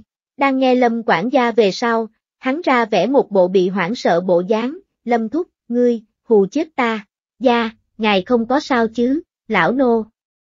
Không phải cố ý. Lâm quản gia giả vờ giả việc nói, trong lòng kỳ thực mừng thầm không thôi, có việc liền nói sự tình, lén lén lúc lúc làm gì. Tiêu thừa cẩn nói, đưa tay vuốt ngực một cái, lâm quản gia thu liễm một chút biểu lộ, chững chạc đàng hoàng nhắc nhở nói, gia, hôm nay là 18 tháng 9, ngài biết có ý tứ gì đi, tiêu thừa cẩn nghe vậy, nhíu mày, 18 tháng 9 là nhược nhược sinh nhật, ta có thế không biết, tiêu thừa cẩn cố ý xếp đặt làm ra một bộ nghiêm túc suy nghĩ vấn đề bộ dáng, không nhanh không chậm mà nói, 18 tháng 9. Để ta ngẫm lại đây là cái gì đặc thù thời gian. Lâm quản gia chỉ tiếc rèn sắt không thành thép nhìn xem tiêu thừa cẩn, một mặt ghét bỏ. Suy nghĩ gì nghĩ, ngài căn bản cũng không biết ngày gì. Tiêu thừa cẩn nghiêm túc sau khi suy nghĩ một chút, hạ giọng nói, Lâm thúc, ta chợt nhớ tới. Lâm quản gia nghe vậy, trên mặt lập tức hiển hiện một nụ cười, nói nhanh lên một chút xem, hôm nay là nhược nhược. Sinh nhật. Tiêu thừa cẩn sau khi nói xong, lập tức thay đổi một bộ đắc ý thần sắc, lâm quản gia cười rạng rỡ, hai, nguyên lai gia ngài đều nhớ kỹ đâu, vậy ngài. Cho chủ tử chuẩn bị sinh nhật lễ vật sao, tiêu thừa cẩn thẳng tắp sống lưng, nghệ xem liếc mắt lâm quản gia, yên tâm đi, ta đã chuẩn bị kỹ càng. Lâm quản gia thoáng nhìn từ nơi không xa đi tới Giang Nhược, nhanh chóng nói ra, gia, các nô tài còn muốn một cái, không, là hai cái tiểu chủ tử, cho nên, ngài phải cố gắng một chút a. Lâm quản gia sau khi nói xong, nhanh chóng rút lui, tiêu thừa cẩn nghiêng đầu nhìn xem lâm quản gia bóng lưng, câu lên một vòng ý cười, hai cái tiểu chủ tử, các ngươi còn rất lòng tham, đây là các ngươi muốn, liền có thể muốn sao, chương 230, mỗi cái sinh nhật đều cùng một chỗ nhìn pháo hoa, vì cho Giang Nhược một cái sinh nhật kinh hỉ, Lâm quản gia mấy người tại nàng nghỉ trưa về sau, ngồi cùng một chỗ thảo luận một chút, cuối cùng, mọi người quyết định chuẩn bị một cái ấm áp sinh nhật tiệc tối. Tiêu thừa cẩn vì cho mọi người chừa lại chuẩn bị tiệc tối thời gian, tại Giang Nhược tỉnh ngủ về sau, cố ý mang nàng đi thị trấn bên trên tản bộ một vòng. Giang Nhược bình thường liền dững dưng, căn bản liền không có nhớ lại hôm nay là sinh nhật của nàng. Thẳng đến trước khi trời tối, hai người mới ngồi xe ngựa về nhà. Giang Nhược tiến vào gia môn thời điểm, liền phát giác có chút không đúng. Người đâu? Hẳn là, đều đi trang tử bên trên. Tiêu thừa cẩn nhìn xem yên tĩnh viện tử, ra vẻ mờ mịt nói, ai, người đều đi đâu rồi? Giang Nhược cười hắc hắc, bọn hắn hẳn là đi trang tử chút gì sống. Tiền sảnh người ngầm đâm đâm nghe trong viện động tĩnh, đang nghe hai người đối thoại lúc, kém chút cười ra tiếng, gia, ngài cũng rất có thể trang. Giang Nhược ngửi ngửi mùi thơm của thức ăn, ở trong lòng nói thầm, vẫn là sớm làm tốt cơm mới đi. Tiêu thừa cẩn liếc nhìn phòng trước, cố ý chậm dần bước chân. Tại Giang Nhược đẩy cửa nháy mắt, trong tiền thính bỗng nhiên sáng lên đèn. Nàng bước vào phòng trước về sau, lâm quản gia mấy người cùng ám vệ nhóm chấp tay ôm quyền, trăm miệng một lời hô, các nô tài chúc chủ tử sinh nhật vui vẻ. Giang Nhược, hôm nay là mình sinh nhật sao? 18 tháng 9, ta đi, trách không được từ buổi sáng bắt đầu đã cảm thấy mọi người có chút thần bí, hóa ra là mình sinh nhật a. Nghĩ đến chỗ này, Giang Nhược hốc mắt ửng đỏ, nàng bước nhanh đi lên trước, vui vẻ nói, cảm ơn các ngươi nha, chủ tử, hẳn là các nô tài tạ ơn ngài mới đúng.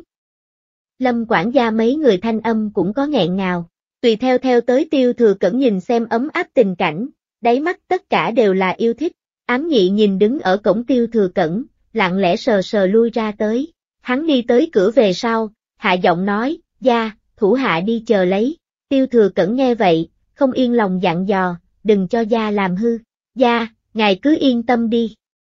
Ám nhị cười hắc hắc, bước nhanh ra phòng trước, tại ám nhị sau khi rời đi, tiêu thừa cẩn đi đến Giang Nhược bên người, hắn cầm Giang Nhược hai tay, mặt mày mỉm cười mà nói, nhược nhược, sinh nhật vui vẻ, tiêu thừa cẩn ánh mắt quá mức cực nóng, Giang Nhược nhìn một vòng người ở chỗ này, gương mặt ửng đỏ, nàng hơi có vẻ ngượng ngùng nói ra, tạ ơn, nhược nhược, tại dùng thiện trước đó, chúng ta đi ra ngoài trước một chút.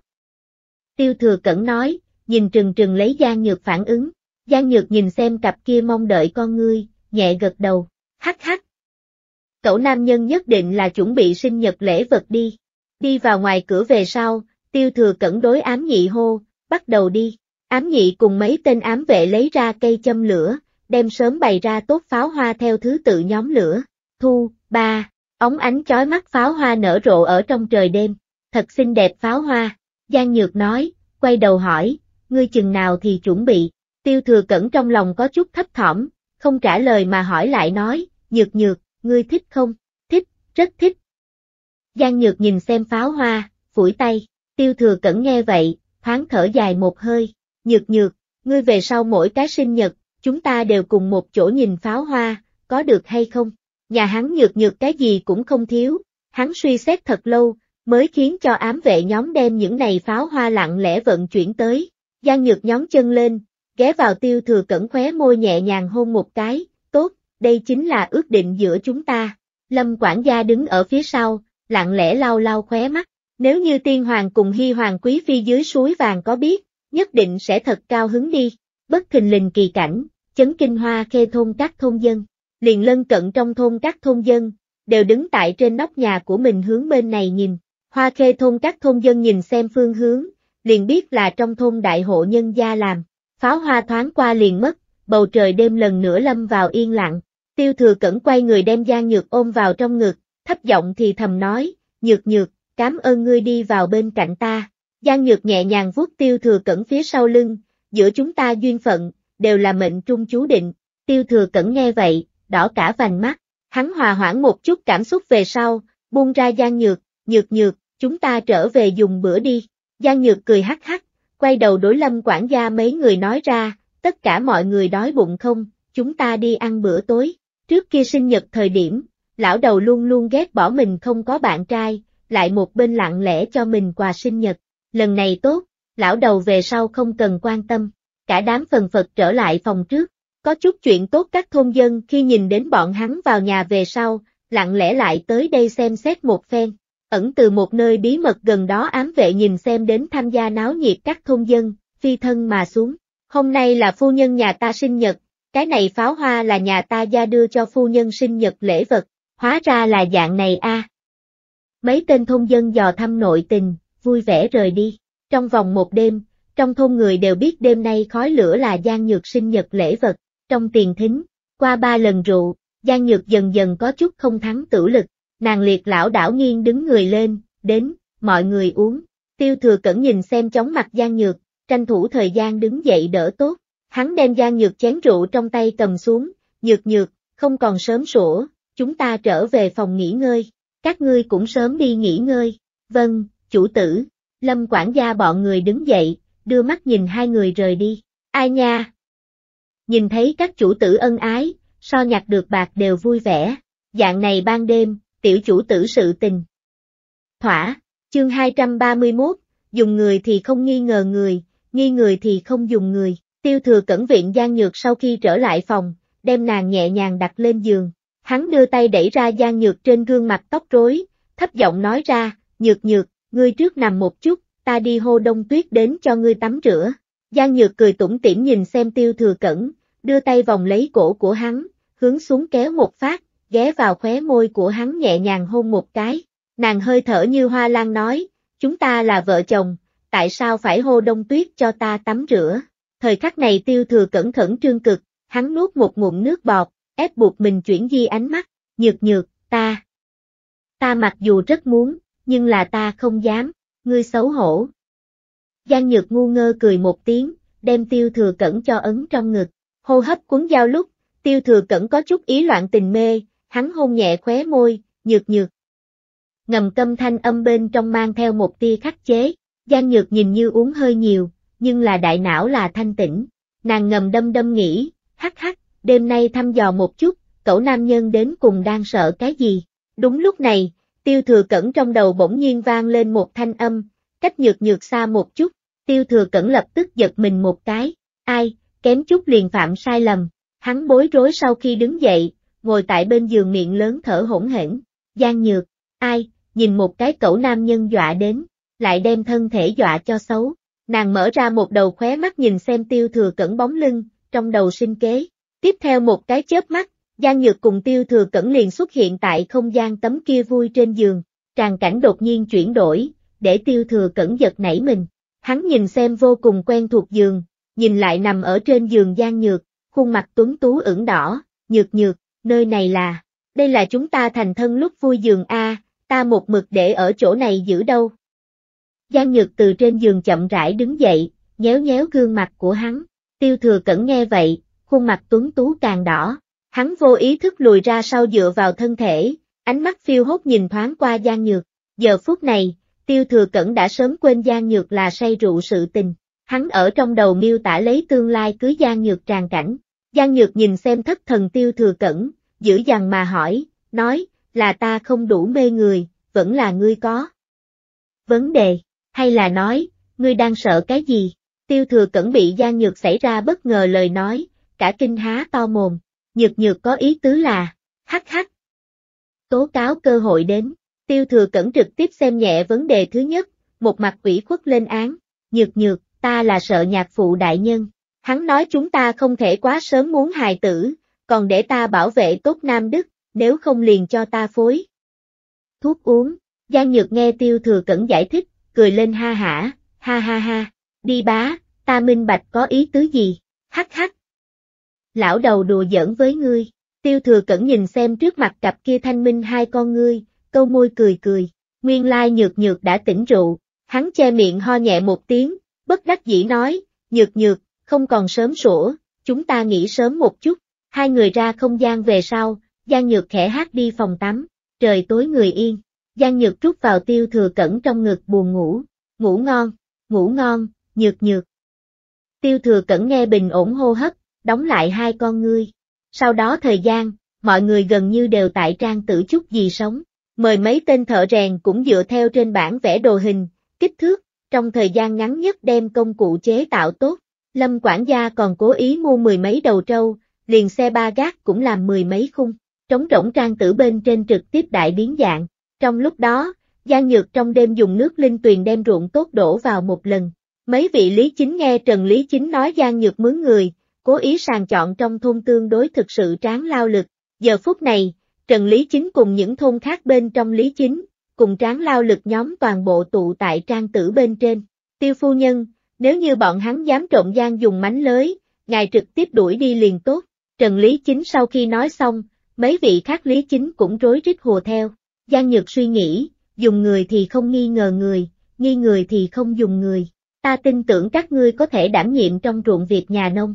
Nàng nhìn xem trên dưới 100 hào tráng lao lực, lớn tiếng nói, ta hướng mọi người cam đoan, tuyệt đối không khất nợ các ngươi một đồng tiền. Chúng ta bảy ngày kết một lần tiền công, thẳng đến trong ruộng việc nhà nông, làm xong mới thôi. Tráng lao lực nhóm nhau nhau biểu thị, chúng ta tin tưởng đông gia. Tốt, tại lâm quản gia cùng kỹ vân sách dẫn đầu dưới, hiện trường vang lên tiếng sấm rền vang tiếng vỗ tay. Chủ tử, nơi này giao cho lão nô đến lo liệu liền tốt. Lâm quản gia nói, đối tiêu thừa cẩn nhẹ gật đầu. Tiêu thừa cẩn hợp thời mở miệng, nhược nhược, nơi này giao cho lâm thúc cùng kỹ thúc, chúng ta trở về nghỉ một lát. Giang nhược cười một tiếng, kỹ thúc, lâm thúc, vất vả các ngươi. Tại hai người sau khi đi, lâm quản gia bắt đầu thu xếp các tráng hán khu làm việc vực, liền theo lấy Giang nhược phương pháp đến phân, cho bọn hắn chia 10 tiểu đội, mỗi đội 100 mẫu ruộng, có một cái đội trưởng trông coi mình tiểu đội. Đám người cảm thấy biện pháp này không sai, cũng không có phản đối. Liền vẻn vẹn những cái này tiền công đến nói, những cái này tráng lao lực nhóm liền rất trân quý công việc này, huống chi, còn muốn quản dừng lại cơm trưa. Tăng thêm gia nhược mở ổn định giá tiệm lương thực sự tình, bọn hắn cảm thấy, không hảo hảo làm việc, đều có chút thật xin lỗi đông gia. Trọng yếu nhất chính là, nếu như loại lúa mì cái này sự tình thật có thể thành, bọn hắn năm sau cũng có thể tham khảo một chút phương pháp, cho nên, tại lâm quản gia, thu xếp nhiệm vụ lúc, bọn hắn nghe phá lệ cẩn thận, nấu cơm các phụ nữ nhìn xem nhà bếp mấy chục bao tải gạo, lúa mì, mới mẻ khoai tây cùng củ cải, lặng lẽ sờ sờ liếc nhau, đây là cho những cái kia làm việc ăn.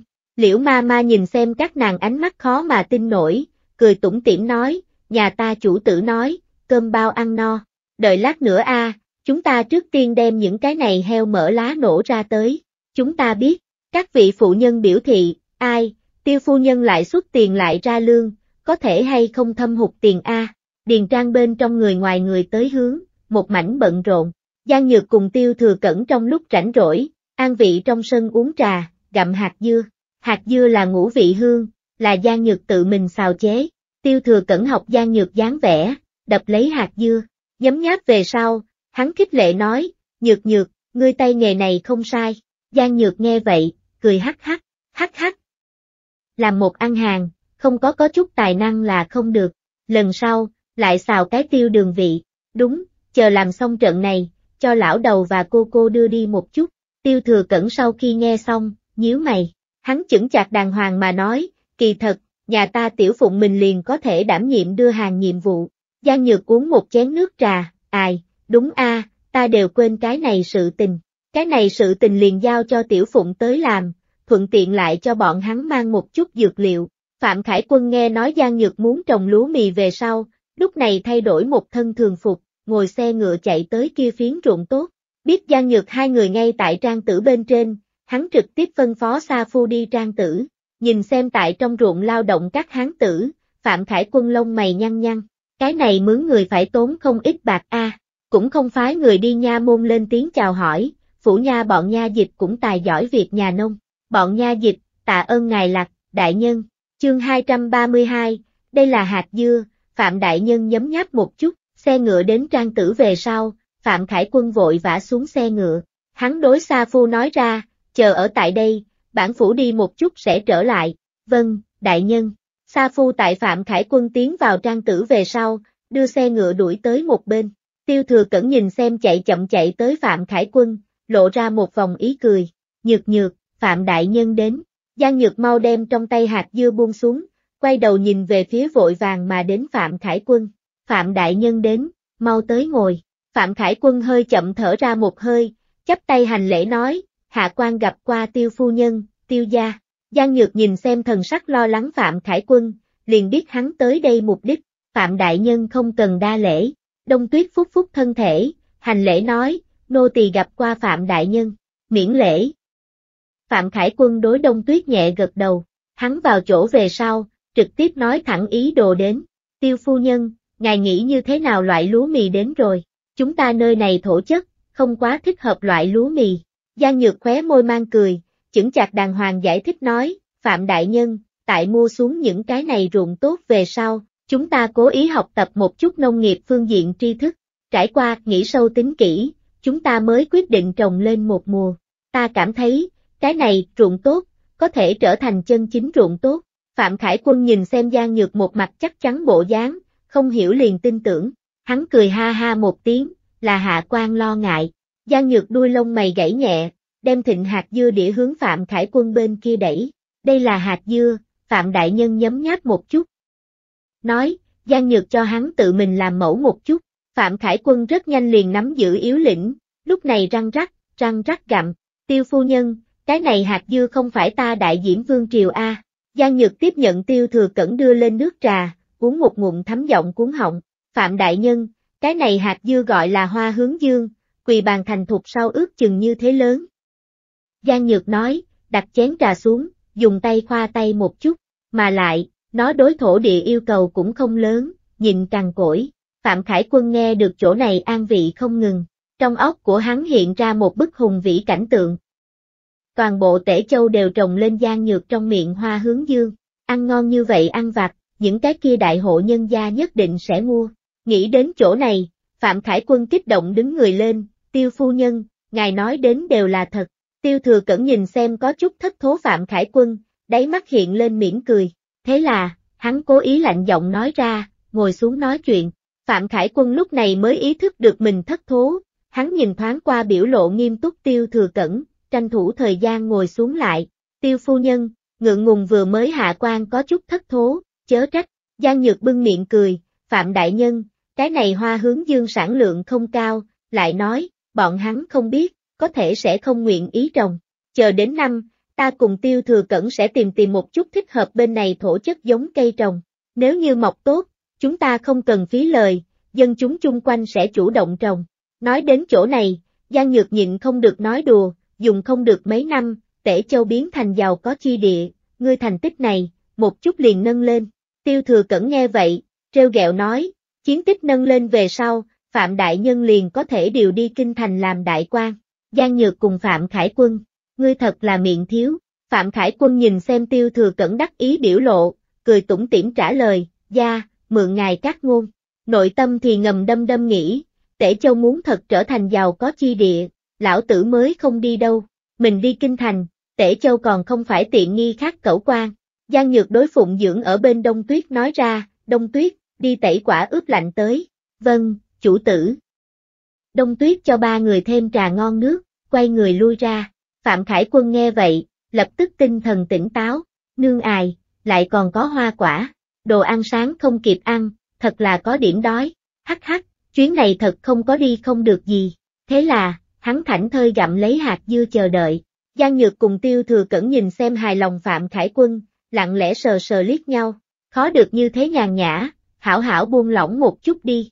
Đợi đông tuyết bưng ba bàn hoa quả đi tới về sau, Phạm Khải Quân hai mắt tỏa sáng, Phạm Đại Nhân, những cái này hoa quả đều là ta tìm, chuyên gia bồi dưỡng, ngươi nhấm nháp một chút. Tiêu thừa cẩn mặt không đỏ hơi thở không gấp nói, kia, hạ quan liền không khách khí. Phạm Khải Quân cầm lấy một cái quả đào, há miệng liền gặm, ngọt như vậy, không hổ là tài đại khí thô đại hộ nhân gia, ăn hoa quả đều có người chuyên bồi dưỡng. Ba người vừa ăn vừa nói chuyện, Phạm Khải Quân sớm đem hồi phủ nha sự tình ném đến lên chín tầng mây. Tại ngoài cửa lớn chờ đợi Sa Phu cái kia gấp A, tại sao vẫn chưa ra? Đại nhân không phải đi nói đến liền trở về sao?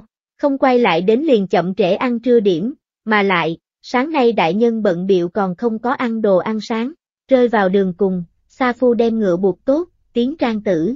Khi hắn nhìn thấy ngồi ở chỗ đó cười mười phần thoải mái Phạm Khải Quân lúc, lại không đành lòng đánh vỡ cục diện này. Thế là, Sa Phu đành phải lặng lẽ gãy, trở về. Tại nhà bếp bận rộn phụ nhân căn cứ canh giờ, tay chân lanh lẹ chuẩn bị lao lực nhóm ăn trưa. Làm mùi thơm của thức ăn bay ra lúc, Phạm Khải Quân mới ý thức tới nhanh buổi trưa. Hắn tranh thủ thời gian đứng dậy, chắp tay nói, đa tạ tiêu phu nhân, tiêu gia khoản đãi, không còn sớm sủa, hạ quan liền cáo từ. Giang Nhược đứng dậy, cười hiếp mắt nói, lập tức đến ăn trưa điểm, Phạm Đại Nhân ăn ăn trưa lại đi thôi. Phạm Khải Quân vừa định mở miệng cự tuyệt, liền thấy Tiêu Thừa Cẩn trừng mắt liếc hắn một cái.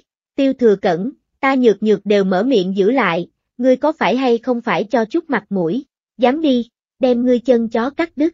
Phạm Khải Quân, ra đây là ý gì? Chẳng lẽ còn muốn mặt dạng mày dày lưu lại ăn ăn trưa? Thôi, hạt dưa cùng hoa quả đều ăn, cũng không kém cái này bỗng nhiên ăn trưa. Phạm Khải Quân gãi đầu một cái, kia, hạ quan đã có da mặt dày lưu lại. Cứ như vậy, liên đới lấy Sa Phu cũng bị hô vào. Chờ lao lực nhóm khi trở về, Phạm Khải Quân mới biết được cái này đại hộ nhân gia là bỏ hết cả tiền vốn. Giang Nhược lặng lẽ phân phó đông tuyết, cố ý để liễu ma ma nhiều xào chút thức ăn. Dùng bữa trước đó, Phạm Khải Quân ngầm đâm đâm nói, tiêu phu nhân, nếu như nhân thủ không đủ, liền phái người cho hạ quan đưa lời nhắn, hạ quan thu xếp nha dịch tới làm. Dạng này, ngài cũng có thể tiết kiệm ít bạc. Giang Nhược Tư sáng cười một tiếng, hạ giọng, chúng ta chính là nghĩ đến để bọn hắn dựa vào bản thân khí lực, vì trong nhà gia tăng một điểm thu nhập. Phạm Khải Quân nghe vậy, bỗng nhiên tỉnh ngộ, thì ra là thế. Tiêu phu nhân, tiêu gia trạch tâm nhân hậu, hạ quan cảm giác sâu sắc bội phục. Nghe một cái khác viện tử truyền đến tiếng cười, Phạm Khải Quân trên mặt nổi lên một vòng ý cười. Tể Châu, sẽ trở thành giàu có chi địa. Chương 233, Tiêu Thừa Cẩn cùng Tiêu Phu Nhân si mê làm ruộng, vì cam đoan lúa mì đâm trồi xuất, Giang Nhược cho Lâm quản gia nói một cái đại khái ngày phạm vi. Lâm quản gia ra lệnh một tiếng, tráng lao lực nhóm chủ động sáng sớm về muộn. Một màn này nhìn xem Giang Nhược trong mắt, không hiểu có chút cảm động. Gieo hạt trong lúc đó, lân cận có không ít bách tính đến nhau nhau vây xem. Bọn hắn nhìn xem trong ruộng bận rộn thân ảnh, tựa như nhìn thấy năm sau bội thu tràn cảnh. Có bách tính lặng lẽ cầm lấy những cái kia mới lạ công cụ, một bên khoa tay, một bên gật đầu.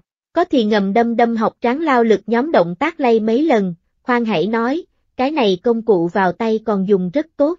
Giang Nhược tại cách đó không xa nhìn xem bên này tình cảnh, đắc ý đối tiêu thừa cẩn nói ra, ngươi nhìn, bọn hắn vẫn tương đối quan tâm chuyện này đi, chờ thêm đoạn thời gian, những cái này lúa mì nảy mầm suất cao thời điểm, ta đoán chừng bọn hắn sẽ mỗi ngày đến quan sát một chút, ha ha, đều có chuyên môn nhìn hoa màu người. Tiêu thừa cẩn nhìn xem tấm kia xinh xắn gương mặt, treo chọc trả lời, hết thảy đều ở nhược nhược trong khống chế, đó là đương nhiên. Giang Nhược nói xong, cười đắc ý, trong hoàng cung, làm việc công tiêu quân trạch tính toán thời gian, liền biết phái đi ám sát tiêu thừa cẩn tử sĩ nhóm, toàn bộ bị phản sát, nghĩ đến chỗ này, tiêu quân trạch gương mặt càng thêm âm trầm, hắn đem trong tay tấu chương hướng trên bàn quăng ra, đứng dậy trong điện đi qua đi lại, lúc trước, mình liền nên nghe mẫu hậu, thừa dịp tiêu thừa cẩn tuổi còn nhỏ, huynh đệ tình thâm, hoàng gia làm sao có thể có tình huynh đệ, cuối cùng là nuôi hổ gây họa. Quý tổng quản nhìn xem tiêu quân trạch ảm đạm không rõ khuôn mặt, vô ý thức lui lại một bước, tận lực giảm bớt mình tồn tại cảm. Tiêu quân trạch chợt nhớ tới tên kia không coi ai ra gì du lịch y. Hắn nghiêng đầu liếc nhìn quý tổng quản, ngữ khí sắc bén, điều tra rõ tên kia du lịch y lai lịch sao? Quý tổng quản nghe vậy, lập tức giật mình một cái, hắn liễm hạ mặt mày, chắp tay trả lời, hồi hoàng thượng, lão nô đã phái người điều tra, thân phận của người này không có vấn đề, vậy là tốt rồi, cái này, cái mấu chốt, ngàn vạn không thể để cho dụng ý khó dò người trà trộn vào hoàng cung.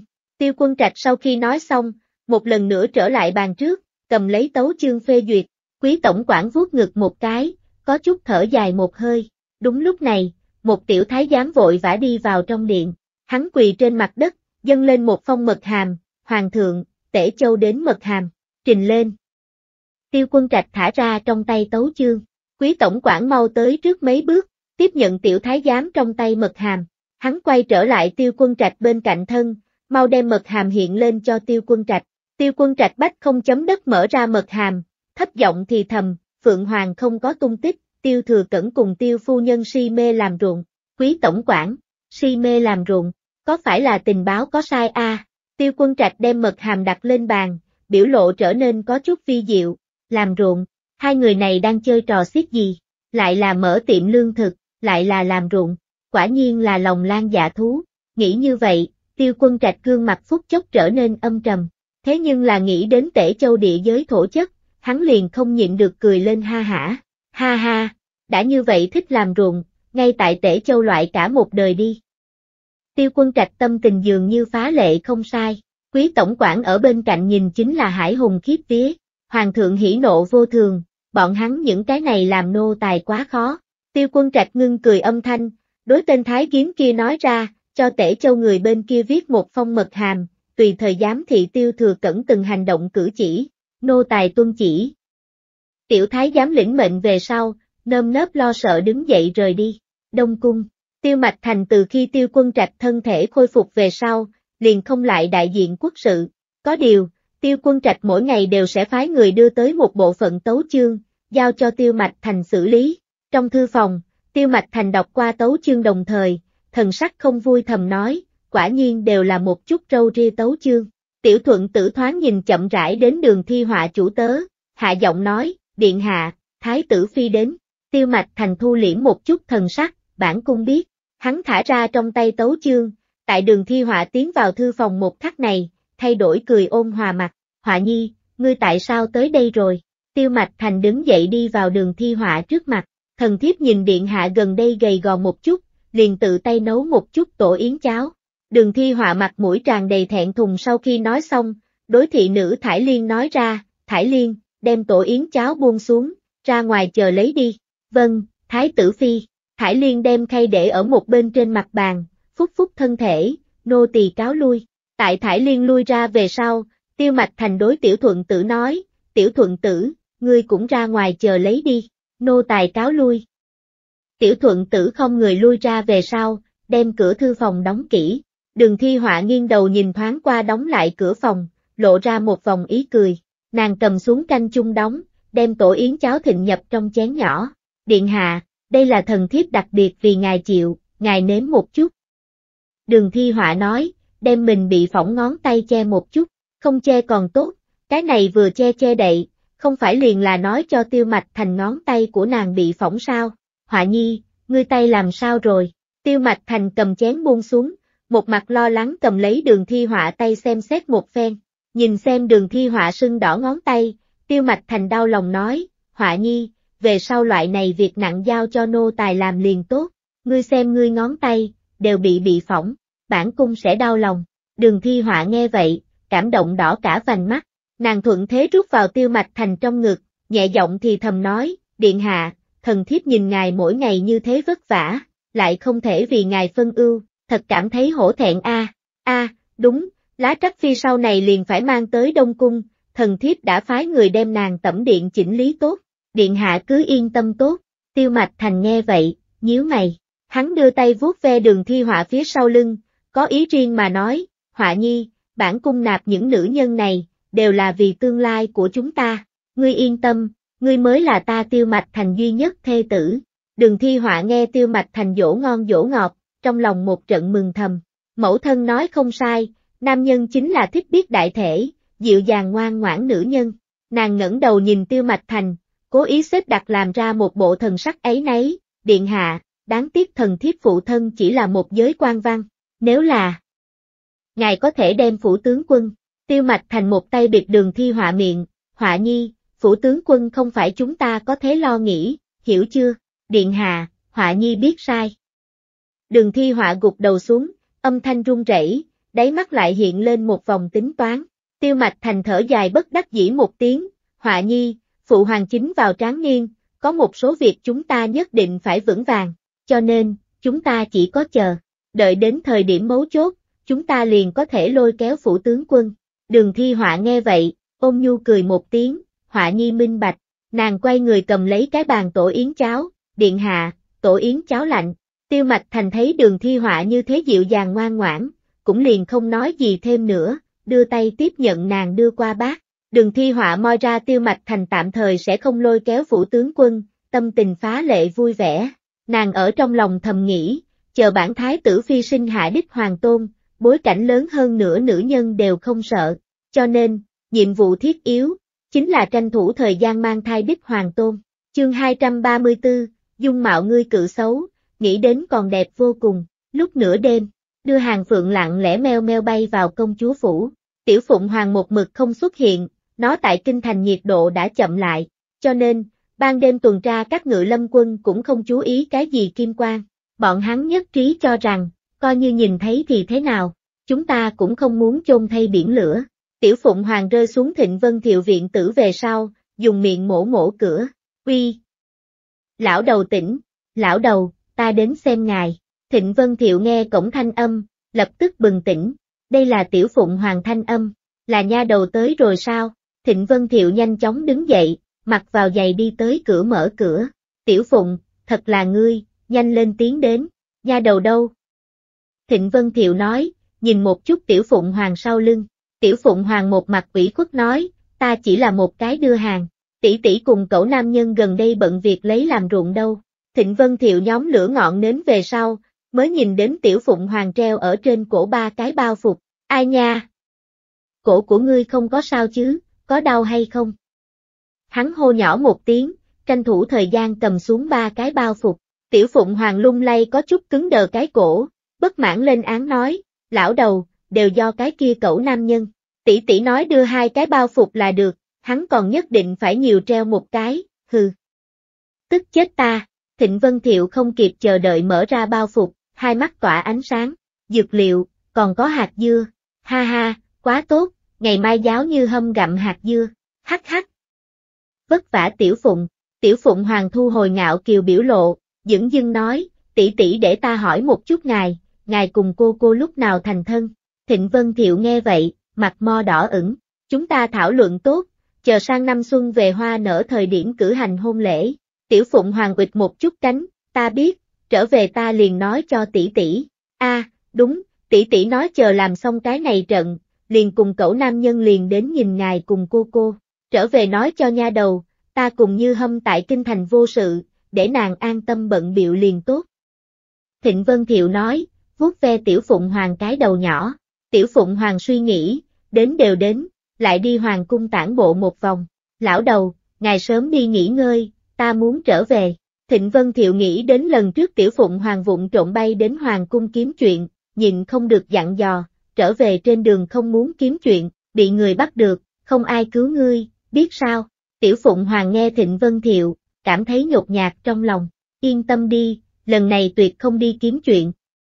Kia là không có khả năng, Thịnh Vân Thiệu nhìn xem nhu thuận Tiểu Phụng Hoàng, hài lòng nhẹ gật đầu, trong viện, Tiểu Phụng Hoàng đằng không mà lên, hạ giọng, lão đầu, bái bai, Thịnh Vân Thiệu ngẩng đầu, không yên lòng dặn dò, Tiểu Phụng, trên đường ngàn vạn cẩn thận, thu được. Tiểu Phụng Hoàng sau khi nói xong, dương cánh bay đi, đang bay ra một khoảng cách về sau, Tiểu Phụng Hoàng mới thay đổi phương hướng hướng phía Hoàng cung bay đi. Tiểu Phụng Hoàng suy nghĩ, thời gian còn sớm, liền nhiều hô hố một hồi đi. Nghĩ như vậy, nó cũng mặc kệ là địa phương nào, trực tiếp rơi xuống một chỗ cung điện. Thật vừa đúng lúc, Tiểu Phụng Hoàng vừa vặn rơi xuống tiêu mạch thành tẩm cung. Ẩn từ một nơi bí mật gần đó ám vệ nhóm nhìn xem đột nhiên đem rơi vào trên nóc nhà chim, giật nảy cả mình. Không, đây là đoạn thời gian trước xuất hiện tại Hoàng cung con kia Tiểu Phụng Hoàng. Bọn hắn không dám hành động thiếu suy nghĩ, bởi vì, Tiêu Mạch Thành từng đối bọn hắn nói qua, nếu như Tiểu Phụng Hoàng lại xuất hiện, muốn lặng lẽ thông báo hắn. Một cách tẩm điện gần đây ám vệ lặng lẽ phi thân mà xuống, rón rén đi vào trước cửa điện. Hắn vừa đưa tay gõ cửa, liền bị giữa không trung truyền đến một trận thét lên dọa đến khẽ run rẩy. Có ai không? Bắt thích khách, bắt thích khách. Tiểu Phụng Hoàng nhìn xem lén lén lúc lúc người áo đen, xem náo nhiệt không chê chuyện lớn. Hắc hắc. Để ngươi gia chủ tử đánh chết ngươi. Tiểu Phụng Hoàng tiếng thét chói tai vang vọng Đông Cung, Đông Cung lập tức lộn xộn. Tiêu Mạch Thành nghe động tĩnh bên ngoài, lúc này giật mình một cái. Hắn nhanh chóng mặc vào một kiện ngoại bào, đối trên giường rung lẫy bẫy đường thi họa nói ra, họa nhi, bên ngoài nguy hiểm, ngươi không muốn đi ra. Điện hạ, ngài phải cẩn thận một chút. Đường thi họa thanh âm có chút run rẩy, thích khách này quá hung hăng ngang ngược, cũng dám ban đêm xông vào đông cung. Tiêu mạch thành cầm lên một thanh bảo kiếm, bước nhanh ra tẩm điện. Khi hắn mở ra cửa điện một khắc, liền thấy nhà mình ám vệ ngốc ngốc đứng ở ngoài cửa. Tiêu mạch thành cảnh giác nhìn một chút bên ngoài, không vui hỏi, tình huống như thế nào? Ám vệ thần sắc kích động chỉ vào rơi vào nóc phòng tiểu phụng hoàng, hồi chủ tử, con kia tiểu phụng hoàng xuất hiện, vừa mới chính là nó kêu, cái gì? Tiểu phụng hoàng. Tiêu mạch thành âm thanh kích động đều biến, hắn đẩy ra vướng bận ám vệ, ngước mắt tìm kiếm tiểu phụng hoàng, làm tiêu mạch thành nhìn thấy tiểu phụng hoàng chân thân lúc, đáy mắt tràn ngập tính toán thần sắc, ngươi chính là vậy sẽ chỉ nói chuyện tiểu phụng hoàng, đúng, chính là gia. Tiểu phụng hoàng trả lời nhiều lưu loát, tiêu mạch thành vô ý thức tiến lên mấy bước, tiểu phụng hoàng, bản cung là đương triều thái tử, là đại diễm vương triều thái tử, nếu như ngươi nguyện ý đi theo bản cung, nghe bản cung, tiểu phụng hoàng quịch một chút cánh, giữ dằn nói, ngươi cho gia dừng lại, dung mạo ngươi cự xấu, nghĩ đến còn đẹp vô cùng, còn muốn để gia nghe lời ngươi, ngươi là cái thái gì? A Phi. Làm ngươi ba ngày đại mộng đi thôi. Tiểu Phụng Hoàng bá bá sau khi mắng xong, tinh thần sảng khoái bay đi. Tẩm điện bên ngoài bầu không khí có một nháy mắt ngưng kết, tiêu mạch thành kịp phản ứng về sau, đối tiểu Phụng Hoàng bay đi phương hướng giận dữ hét, dám nhục mạ bản cung. Lần sau bắt lại ngươi, đem ngươi lông lột sạch. Tiểu Phụng Hoàng bay đến hậu cung về sau, lập lại chiêu cũ. Nó một bên xoay quanh một bên hô, không tốt, có thích khách, tranh thủ thời gian chạy a. Hậu cung tần phi nhóm lúc đầu ngủ rất say, bị tiểu phụng hoàng như thế vừa hô, toàn bộ bừng tỉnh.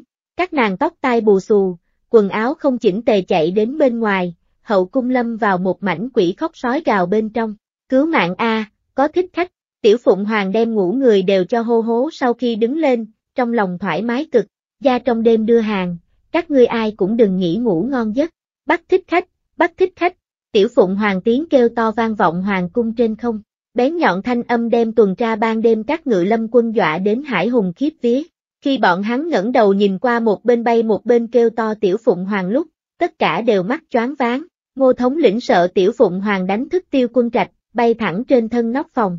Hắn quỳ gối nóc phòng, chắp tay trước ngực, hèn mọn cầu khẩn nói, phượng gia, van cầu ngài, có thể hay không đừng hô, Tiểu Phụng Hoàng nhìn xem quỳ gối trên nóc nhà cầu nó người, tiếng kêu to im bặt mà dừng, xem ở ngươi quỳ xuống cầu gia phân thượng, gia liền không nhao nhao, bái bai Tiểu Phụng Hoàng sau khi nói xong, tâm tình vui vẻ bay đi, chủ yếu là kêu cuốn họng có chút đau nhức, ngô thống lĩnh nhìn xem bay đi Tiểu Phụng Hoàng, một mặt mộng, Phượng gia cứ như vậy bay đi, chương 235, không nghĩ tới tiêu phu nhân như thế đáng tin cậy, lúa mì gieo hạt nhiệm vụ hoàn thành, Giang Nhược cố ý cho tráng lao lực nhóm thu xếp dừng lại phong phú cơm trưa. Bọn hắn ngồi tại trước bàn, nhìn xem mặn chay phối hợp đồ ăn, nhịn không được nuốt một ngụm nước bọt. Sau đó, bọn hắn hai mặt nhìn nhau, ở trong lòng nói thầm, đây là bọn hắn những cái này đám dân quê có thế ăn sao. Giang Nhược cùng Tiêu Thừa Cẩn trên mặt ý cười ngồi tại lâm thời thêm bên cạnh bàn cơm, nhìn xem đám người kinh ngạc thần sắc, hai người nhìn nhau cười một tiếng. Giang Nhược đối Tiêu Thừa Cẩn trêu chọc mà nói, ngươi là làm nhà, ngươi để lên tiếng đi. Tiêu thừa cẩn lúc này thẳng tắp sống lưng, tạ ơn nhược nhược cho ta cơ hội này. Tiêu thừa cẩn ho nhẹ một tiếng, mọi người nhao nhao đưa ánh mắt nhìn về phía hắn. Đoạn thời gian gần nhất, vất vả chư vị, cái này bỗng nhiên ăn trưa, là chúng ta vợ chồng cố ý cho chư vị chuẩn bị. Đông gia, cái này. Chúng ta. Tráng lao lực nhóm đối mặt tiêu thừa cẩn hai người, có vẻ hơi câu nệ. Giang Nhược hợp thời mở miệng nói, mọi người không cần câu nệ, đây đều là chúng ta phải làm, chờ đến năm nhổ cỏ, đổ vào. Bội thu thời điểm, chúng ta vợ chồng sẽ còn tiếp tục mời các ngươi tới làm việc nhà nông. Đám người nghe vậy, vui mừng trong bụng. Đông gia đã nói như vậy, có phải là liền tán thành bọn hắn? Bọn hắn liếc mắt nhìn nhau, đáy mắt đều là nhảy cẩn thần sắc. Tạ ơn đông gia. Tốt, mọi người tranh thủ thời gian ăn ăn trưa đi. Tiêu thừa cẩn sau khi nói xong, thần sắc tự nhiên cầm lấy công đũa cho Giang Nhược gấp thức ăn. Đám người, là ai nói đông gia sợ vợ, người ta chỉ là tương đối đau phu nhân mà thôi. Ngồi ở một bên lâm quản gia cười tủm tỉm nhìn xem một màn này, cầm chén đũa lên, chào hỏi mọi người ăn cơm. Ăn trưa qua đi, Kỷ Vân Sách đem tất cả mấy ngày gần đây nhất tiền công toàn bộ thanh toán. Bọn hắn nhìn xem trong tay bạc vụn, cười không ngậm mồm vào được. Bạc vụn ai, làm việc nhà nông lại còn có bạc vụn. Đây là đông gia nói qua tiền thưởng đi. Lần này nắm vào cái này công việc, xem như gặp may. Trước đó đi trong thành làm làm giúp, một ngày đi sớm về tối, nứt vỡ trời, có thế kiếm 10 văn tiền. Cái này việc nhà nông nhìn như vất vả, kỳ thật, bọn hắn cũng không có cảm thấy có bao nhiêu mệt mỏi. Đám người cầm bạc vụn, đem công cụ toàn bộ thả lại trang tử, thu thập thỏa đáng về sau, không nỡ rời đi trang tử. Sau nửa tháng, ngàn mẫu lúa mì mọc khả quan, dẫn tới lân cận rất nhiều các thôn dân nhao nhao đến quan sát. Kỳ thật, bọn hắn mỗi ngày đều sẽ tới tản bộ một vòng. Từ khi ra lúa mạch non về sau, chạy càng thêm chịu khó. Giờ phút này, mấy tên phụ nhân tụ cùng một chỗ, xì xào bàn tán. Kỳ quái, vì sao người ta cái này lúa mì nảy mầm tốt như vậy? Xuyệt, nghe nói người ta cố ý từ chỗ rất xa tìm thấy chất lượng tốt giống tốt. Thật sao? Cái này còn phải hỏi, cái này không được đầy đủ bày ở trước mắt mà.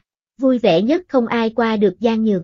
Nàng nhìn xem nhà mình cái này mảng lớn ruộng đồng, mặt mày công công nói, tiêu thừa cẩn, kế này có thể thực hiện. Tiêu thừa cẩn trên mặt nhìn như nhẹ như mây gió, nội tâm cũng là rất kích động. Cứ theo đà này, đại diễm vương triều dân chúng, sớm muộn cũng sẽ vượt qua giàu có sinh hoạt. Hắn nghiêng đầu nhìn xem Giang Nhược, tâm tình vui vẻ mà nói, nhược nhược, tại tương lai không lâu, dân chúng đều sẽ ăn no mặc ấm. Giang Nhược cười hắc hắc, kia là nhất định. Phạm Khải Quân từ lần trước tới qua về sau, cũng một mực chú ý chuyện này. Nghe nói bên này ruộng đồng tình huống về sau, hắn lần nữa ngồi xe ngựa đi vào trang tử bên trên. Dân chúng chung quanh nhóm xem xét, yêu, đây không phải tri phủ đại nhân sao? Bọn hắn nhao nhao hành lễ nói, thảo dân, dân phụ gặp qua tri phủ đại nhân. Phạm Khải Quân khoát tay áo, sắc mặt ôn hòa mà nói, đều miễn lễ đi, bản phủ tới đây, chính là nhìn xem bên này hoa màu tình huống. Phạm Khải Quân nhìn xem mảng lớn ruộng lúa mạch, kích động xoa xoa đôi bàn tay, tốt, tốt a, nương ài, không nghĩ tới tiêu phu nhân như thế đáng tin cậy. Không hổ là chất lượng tốt mạch loại A, cái này sự thành. Một tiểu tử chỉ chỉ cách đó không xa gian nhược hai người, thấp giọng nói ra, tri phủ đại nhân, tiêu gia vợ chồng ở bên kia đâu. Tốt, bản phủ biết. Phạm Khải Quân ho nhẹ một tiếng, mang theo mấy tên nha dịch, hướng phía Giang nhược hai người đi đến. Tiêu thừa cẩn thoáng nhìn một thân quan phục Phạm Khải Quân, mặt mũi tràn đầy cảnh giác nói, nhược nhược, Phạm Khải Quân lại tới. Lần trước cẩu quan trước khi đi, hạt dưa đóng gói, hoa quả đóng gói, Mỹ danh nó nói muốn cho hắn phu nhân nhấm nháp một chút. Giang Nhược nghiêng đầu nhìn vẻ mặt vui mừng Phạm Khải Quân, ngoắc ngoắc khóe môi. Phạm Đại Nhân đến rồi. Phạm Khải Quân chấp tay, một mặt vui mừng, chúc mừng tiêu phu nhân, chúc mừng tiêu phu nhân, ngài mảnh này ruộng tốt, năm sau nhất định sẽ thu hoạch lớn. Ha ha, nhất định. Giang Nhược tiếng nói vừa dứt, cách đó không xa truyền đến rối loạn tưng bừng. Tiêu thừa cẩn nhìn xem dừng ở cách đó không xa hai chiếc xe ngựa, lông mày nhăn nhăn. Hôm nay có chút quá phận náo nhiệt a, mảnh này ruộng lúa mạch xem như thành bánh trái thơm ngon. Một tay to mặt lớn trung niên nam nhân dẫn đầu xuống xe ngựa về sau, thẩm nghiên cũng đi theo xuống xe ngựa. Nàng cười duyên một tiếng, chỉ vào cách đó không xa ruộng lúa mạch nói ra, phu quân, đây chính là kia ngàn mẫu ruộng tốt. Ngươi nhìn, cái này lúa mì mọc cũng không tệ lắm đâu. Nam tử trung niên cười ha ha một tiếng, mảnh này ruộng tốt nhìn qua không sai, yên tâm đi, chỉ cần chúng ta ra giá cao, cái kia họ tiêu nhất định sẽ bán. Ruộng tốt là tiếp theo, hắn chỉ muốn muốn những cái này chất lượng tốt mạch loại. Thẩm nghiên nghe vậy, ra vẻ vẻ mặt buồn thiêu nói, cái này sự tình thật đúng là khó mà nói. Nam tử trung niên mặt kéo một phát, ác thanh ác khí nói, hắn hôm nay bán cũng phải bán, không bán cũng phải bán. một cái bị gián chức vương gia mà thôi, dám đắc tội ta vương đại quý, đem hắn đuổi ra tể châu. Thẩm nghiên tiến lên giật giật vương đại quý tay áo, hạ giọng nói, ngươi nói nhỏ thôi, người ta đã có thế mở tiệm lương thực, đã nói lên người ta có chút vốn liếng. Chúng ta tới đây mục đích là giá cao mua những cái này ruộng tốt, không phải đến gây sự. Vương đại quý ngữ khí không kiên nhẫn nói, biết, mau đem kia hai cái lão già gọi qua. Thẩm nghiên hừ nhẹ một tiếng, lắc mông chi đi vào phía sau một chiếc xe ngựa bên cạnh. Các ngươi tranh thủ thời gian xuống đây đi. Nàng một mặt không vui hô, không sai, vương đại quý trong miệng hai cái lão già chính là đã từng chu viên ngoại vợ chồng. Hai người bọn họ run run rẩy rẩy xuống xe ngựa về sau, đầu tiên là liếc nhìn cách đó không xa ruộng tốt. Ai, mấy tháng công phu, hết thảy đều biến. Thẩm nghiêng nhìn xem hai người, lật một cái liếc mắt, nên làm như thế nào? Các ngươi ghi lại sao? Chu bà tử nhìn xem giữ dằn thẩm nghiêng, vô ý thức trục trục đầu, nghiêng nhi, chúng ta biết nên làm như thế nào. Cái này, bạc, thẩm nghiêng ngữ khí không kiên nhẫn nói, cứ dựa theo vương đại quý nói giá cả trò chuyện. Nếu như bọn hắn không đồng ý, vương đại quý sẽ cùng bọn hắn đàm phán, các ngươi hành sự tùy theo hoàn cảnh. Còn có A, ta vì cầu hắn thu lưu các ngươi lão hai người, thế nhưng là phí không ít miệng lưỡi, cho nên, các ngươi tốt nhất thức thời một chút. Chu bà tử lau lau nước mắt, nghiên nhi, cốt xấu chúng ta mẹ chồng nàng dâu một trận, nếu không phải vì thạc nhi, chúng ta lão hai người nói cái gì cũng không thể đổ thừa ngươi. Ngươi yên tâm, chờ thạc nhi lớn lên, chúng ta liền rời đi vương gia. Thẩm nghiên hừ lạnh một tiếng, đừng tại đây nhi khóc sức mướt, ta gả cho vương đại quý cũng là vì thạc nhi tương lai. Tốt, đừng để vương đại quý sốt ruột chờ. Thẩm nghiên mang theo chu bà tử hai người tới vương đại quý trước mặt. Phu quân, chúng ta đi thôi. Vương đại quý trừng mắt liếc chu bà tử hai người. Tốt như vậy ruộng tốt liền cho bán, thiếu thông minh đi. Lập tức, nghênh ngang hướng phía Giang Nhược bên kia đi đến. Giang Nhược một mực quan sát đến tình huống bên này, khi nhìn đến chu gia mấy người lúc, câu lên một nụ cười, còn dám nhớ thương lão nương ruộng tốt, rất tốt, các ngươi thành công gây nên ta chú ý. Chương 236, trời lạnh, ngươi xong, Phạm Đại Nhân, các ngươi về trước tránh một chút. Giang Nhược nói, đáy mắt hiện lên một tia giảo hòa, Phạm Khải Quân lập tức lĩnh hội Giang Nhược ý tứ, mang theo mấy tên nha dịch trốn đến một bên. Vương Đại Quý mấy người đi ở phía trước, vương gia tám tên gia phó tay cầm gậy gỗ, khí thế hùng hổ theo ở phía sau. Giang Nhược hai tay ôm ngực, ý cười đầy mặt chờ đợi bọn này ác bá tới cửa. Thẩm nghiên nhìn vẻ mặt ý cười Giang Nhược, vô ý thức lạc hậu hai bước. Chẳng biết tại sao, nàng luôn cảm thấy hai người này không phải loại lương thiện.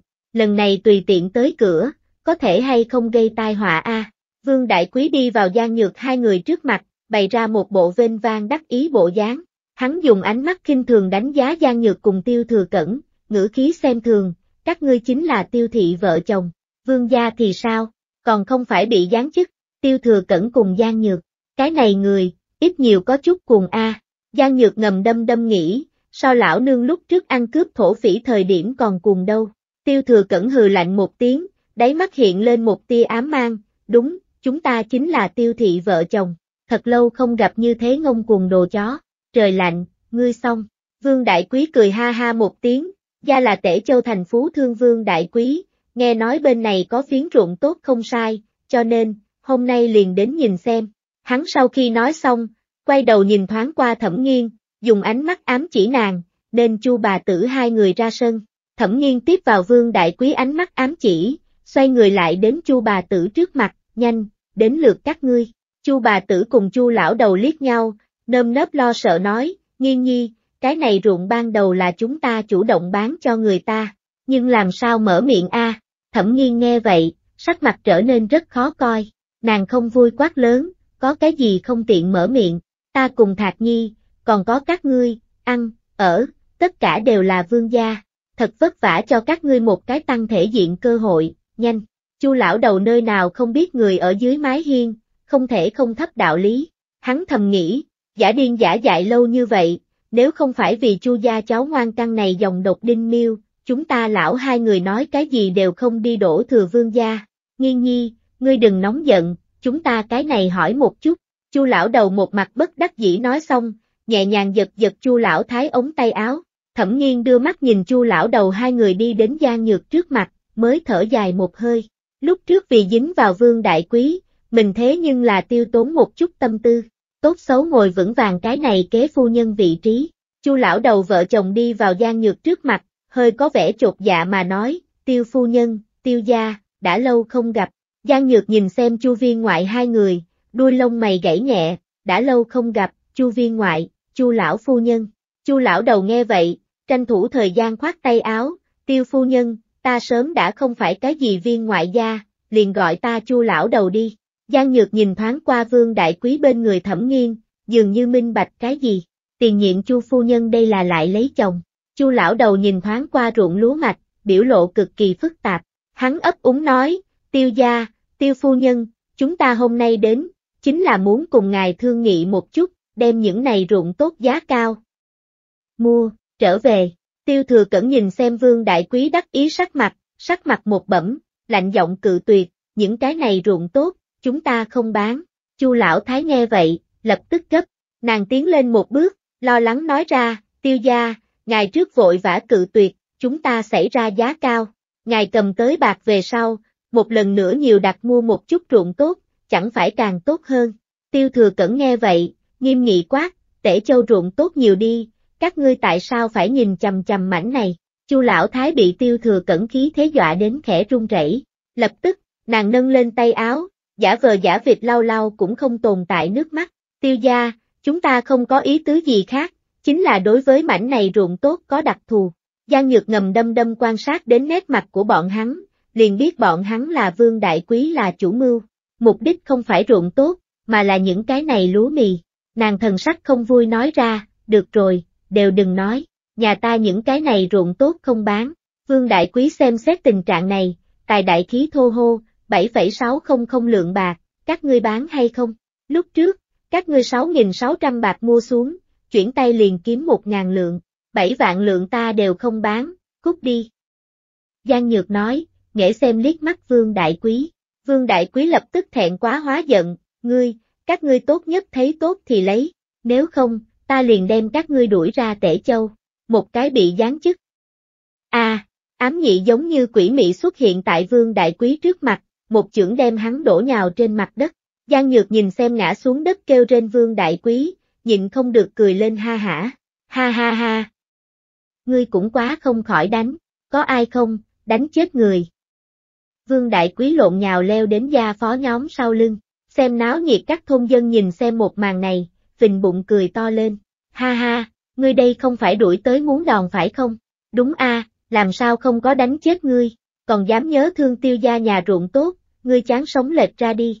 Đối mặt các thôn dân chế giễu, Vương Đại Quý hùng hùng hổ hổ mà nói, các ngươi đều cho bản đại gia im miệng, ta là tốn giá cao mua, lại không có minh mạnh, nói, hắn vô ý thức trục trục đầu, vừa rồi xông tới gia hỏa thân thủ quá nhanh, kém chút đánh chết hắn, cái này thù.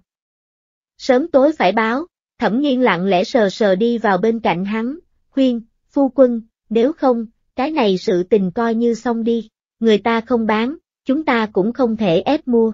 Vương Đại Quý nghe vậy, lập tức nổi giận không được, hắn đối thẩm nghiên đổ ập xuống mắng, lăng, ngươi một cái phụ đạo nhân gia biết cái gì, Phạm Khải Quân ở phía sau xem hết náo nhiệt, một mặt nộ khí đi ra, Vương Đại Quý, ngươi vậy mà ngay trước bản phủ trước mặt, làm ép mua ép bán hoạt động, có ai không, đem hắn mang về phủ nha, đánh 10, 20 đại bản, răng đe.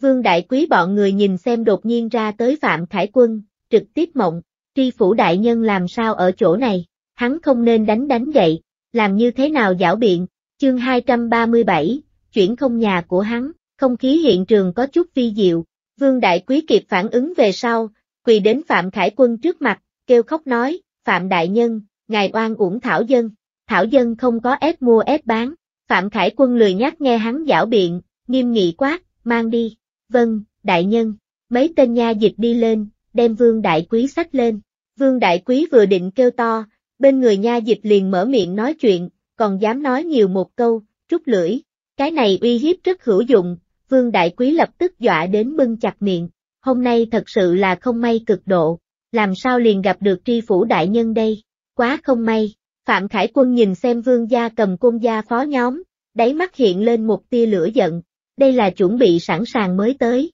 ngươi không phải tìm đường chết, bản phủ cũng ngăn không được, chờ lấy vị gia này thu thập ngươi đi. Thẩm nghiên cùng chu lão đầu hai người xem xét cái này tư thế, liền biết gặp rắc rối.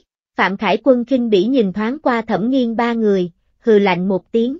Hắn quay người đối các thôn dân hô, các ngươi cho bản phủ nghe kỹ, mảnh này ruộng lúa mạch liên quan đến chúng ta có thể hay không nhét đầy cái bao tử. Nếu người nào dám lên tham niệm, làm phá hư, đem hắn kéo đi phủ nha, báo cho bản phủ. Phạm Khải Quân tiếng nói vừa dứt, các thôn dân cảm xúc liền bị kích động lên. Mấy tên tiểu tử tiến lên, nhao nhao tỏ thái độ, tri phủ đại nhân, ngài yên tâm tốt, nếu người nào dám đến kiếm chuyện, chúng ta là sẽ không đứng nhìn đứng ngoài quan sát. Đúng, hai vị đông gia như thế nhân hậu, ai dám đến tìm sự tình, liền đánh chết hắn. Phạm Khải Quân nghe vậy, lộ ra một vòng nụ cười vui mừng. Tốt, mảnh này ruộng lúa mạch, bản phủ liền giao cho các ngươi trông giữ. Chờ đến năm bội thu, chúng ta toàn bộ tể châu đều trồng lên chất lượng tốt lúa mì. Tiếp theo một cái chớp mắt, hiện trường vang lên tiếng sấm nổ tiếng vỗ tay.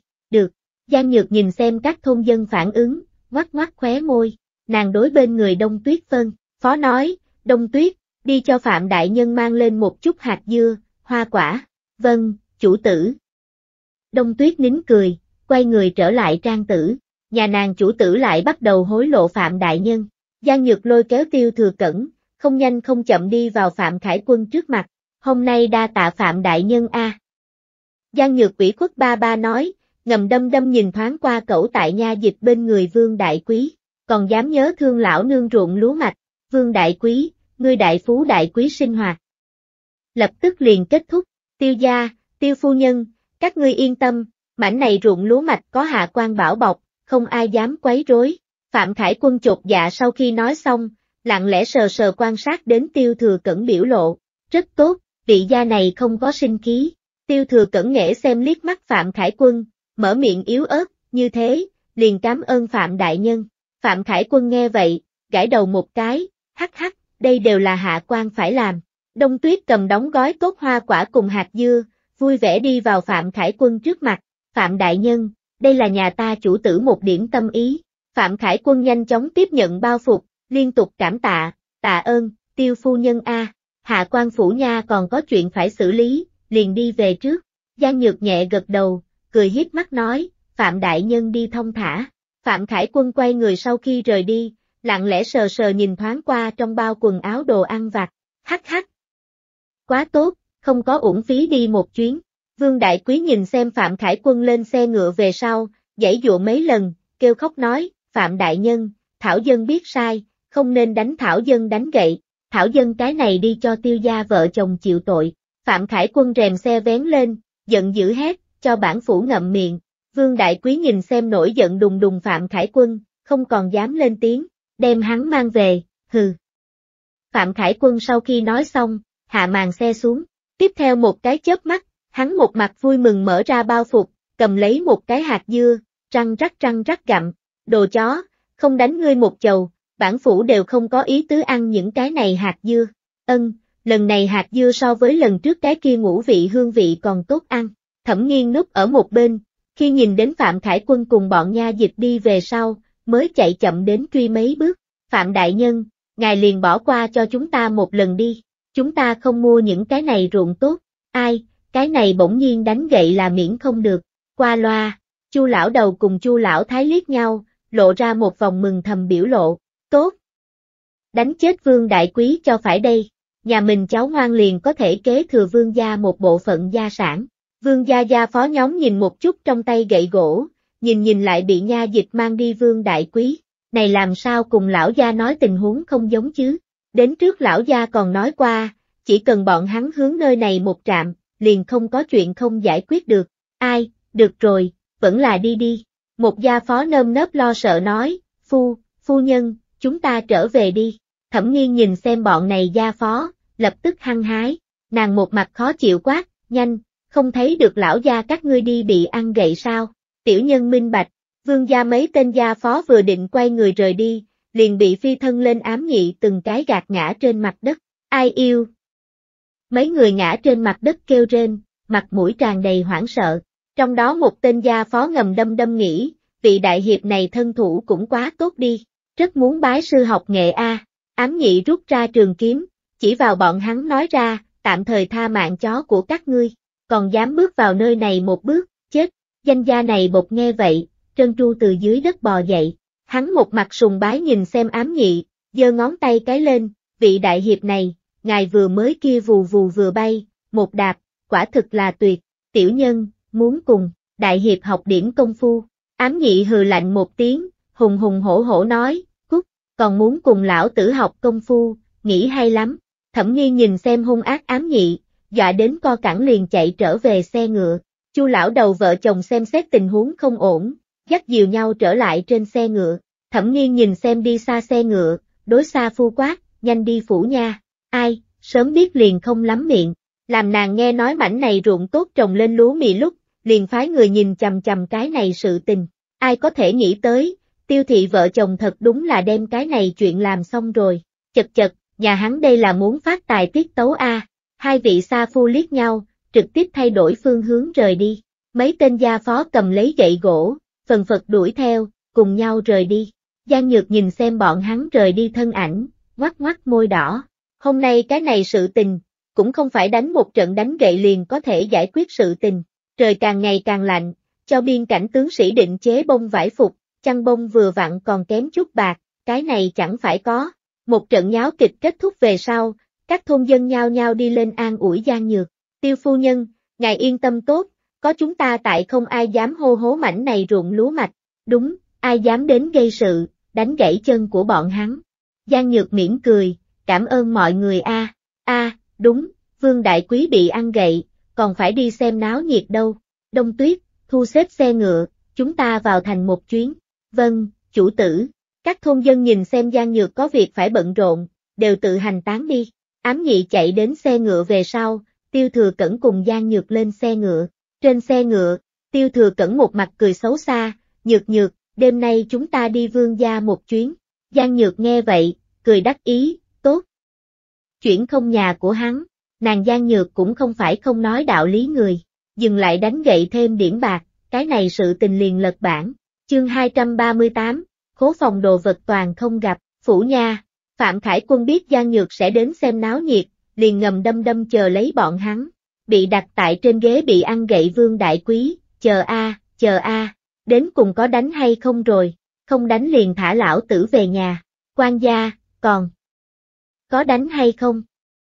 Thực sự nhịn không được, vương đại quý liền hỏi ra lời, hai tên nha dịch liếc nhau, lạnh giọng nói ra, giờ lành còn chưa tới, chờ lấy, vương đại quý, cái gì, bị ăn gậy còn phải xem canh giờ. Phạm Khải Quân cầm một cái hạt dưa đứng tại công đường cổng, hắn một bên gặm một bên nhìn quanh. Bọn nha dịch nghe răng rắc răng rắc thanh âm, nhìn nhìn lại ăn chính hương Phạm Khải Quân, cũng nhịn không được nuốt một ngụm nước bọt. Đại nhân, ngài ăn đây là cái gì ăn vặt? Đúng a, ăn rất ngon dáng vẻ. Đại nhân, chúng ta cũng muốn ăn. Phạm Khải Quân nghe vậy, một mặt đắc ý, cái này gọi hạt dưa, bắt đầu ăn đặc biệt hương, đem nó nắm, đặt ở trên hàm răng, như vậy nhẹ nhẹ khẽ cắn. Hạt dưa nhân liền ra tới, đúng, đây là tiêu phu nhân mình loại, lại tân tân khổ khổ xào chế, các ngươi chờ lấy, bản phủ liền hào phóng cho các ngươi chia một ít, Phạm Khải Quân quay người trở lại bàn bên cạnh, cầm lấy trang hạt dưa hộp gỗ, bọn nha dịch nhìn xem trong hộp gỗ hạt dưa, biểu môi, đại nhân, ngươi thật là được a, vậy mà vụng trộm ăn một mình, đây cũng không phải là ngài phong cách. Phạm Khải Quân nhìn xem trước mặt duỗi ra một vòng móng vuốt, đau lòng không được. Hắn móc móc lục soát cho mỗi người phân một nhỏ thanh, mau đem hộp gỗ thả trở về, quay trở lại đến về sau, Phạm Khải Quân ra vẻ hào phóng nói ra, đều nhấm nháp một chút, ăn ngon, năm sau ta mình loại một chút, quá nhiều người, hắn những cái này, hạt dưa cũng không đủ phân.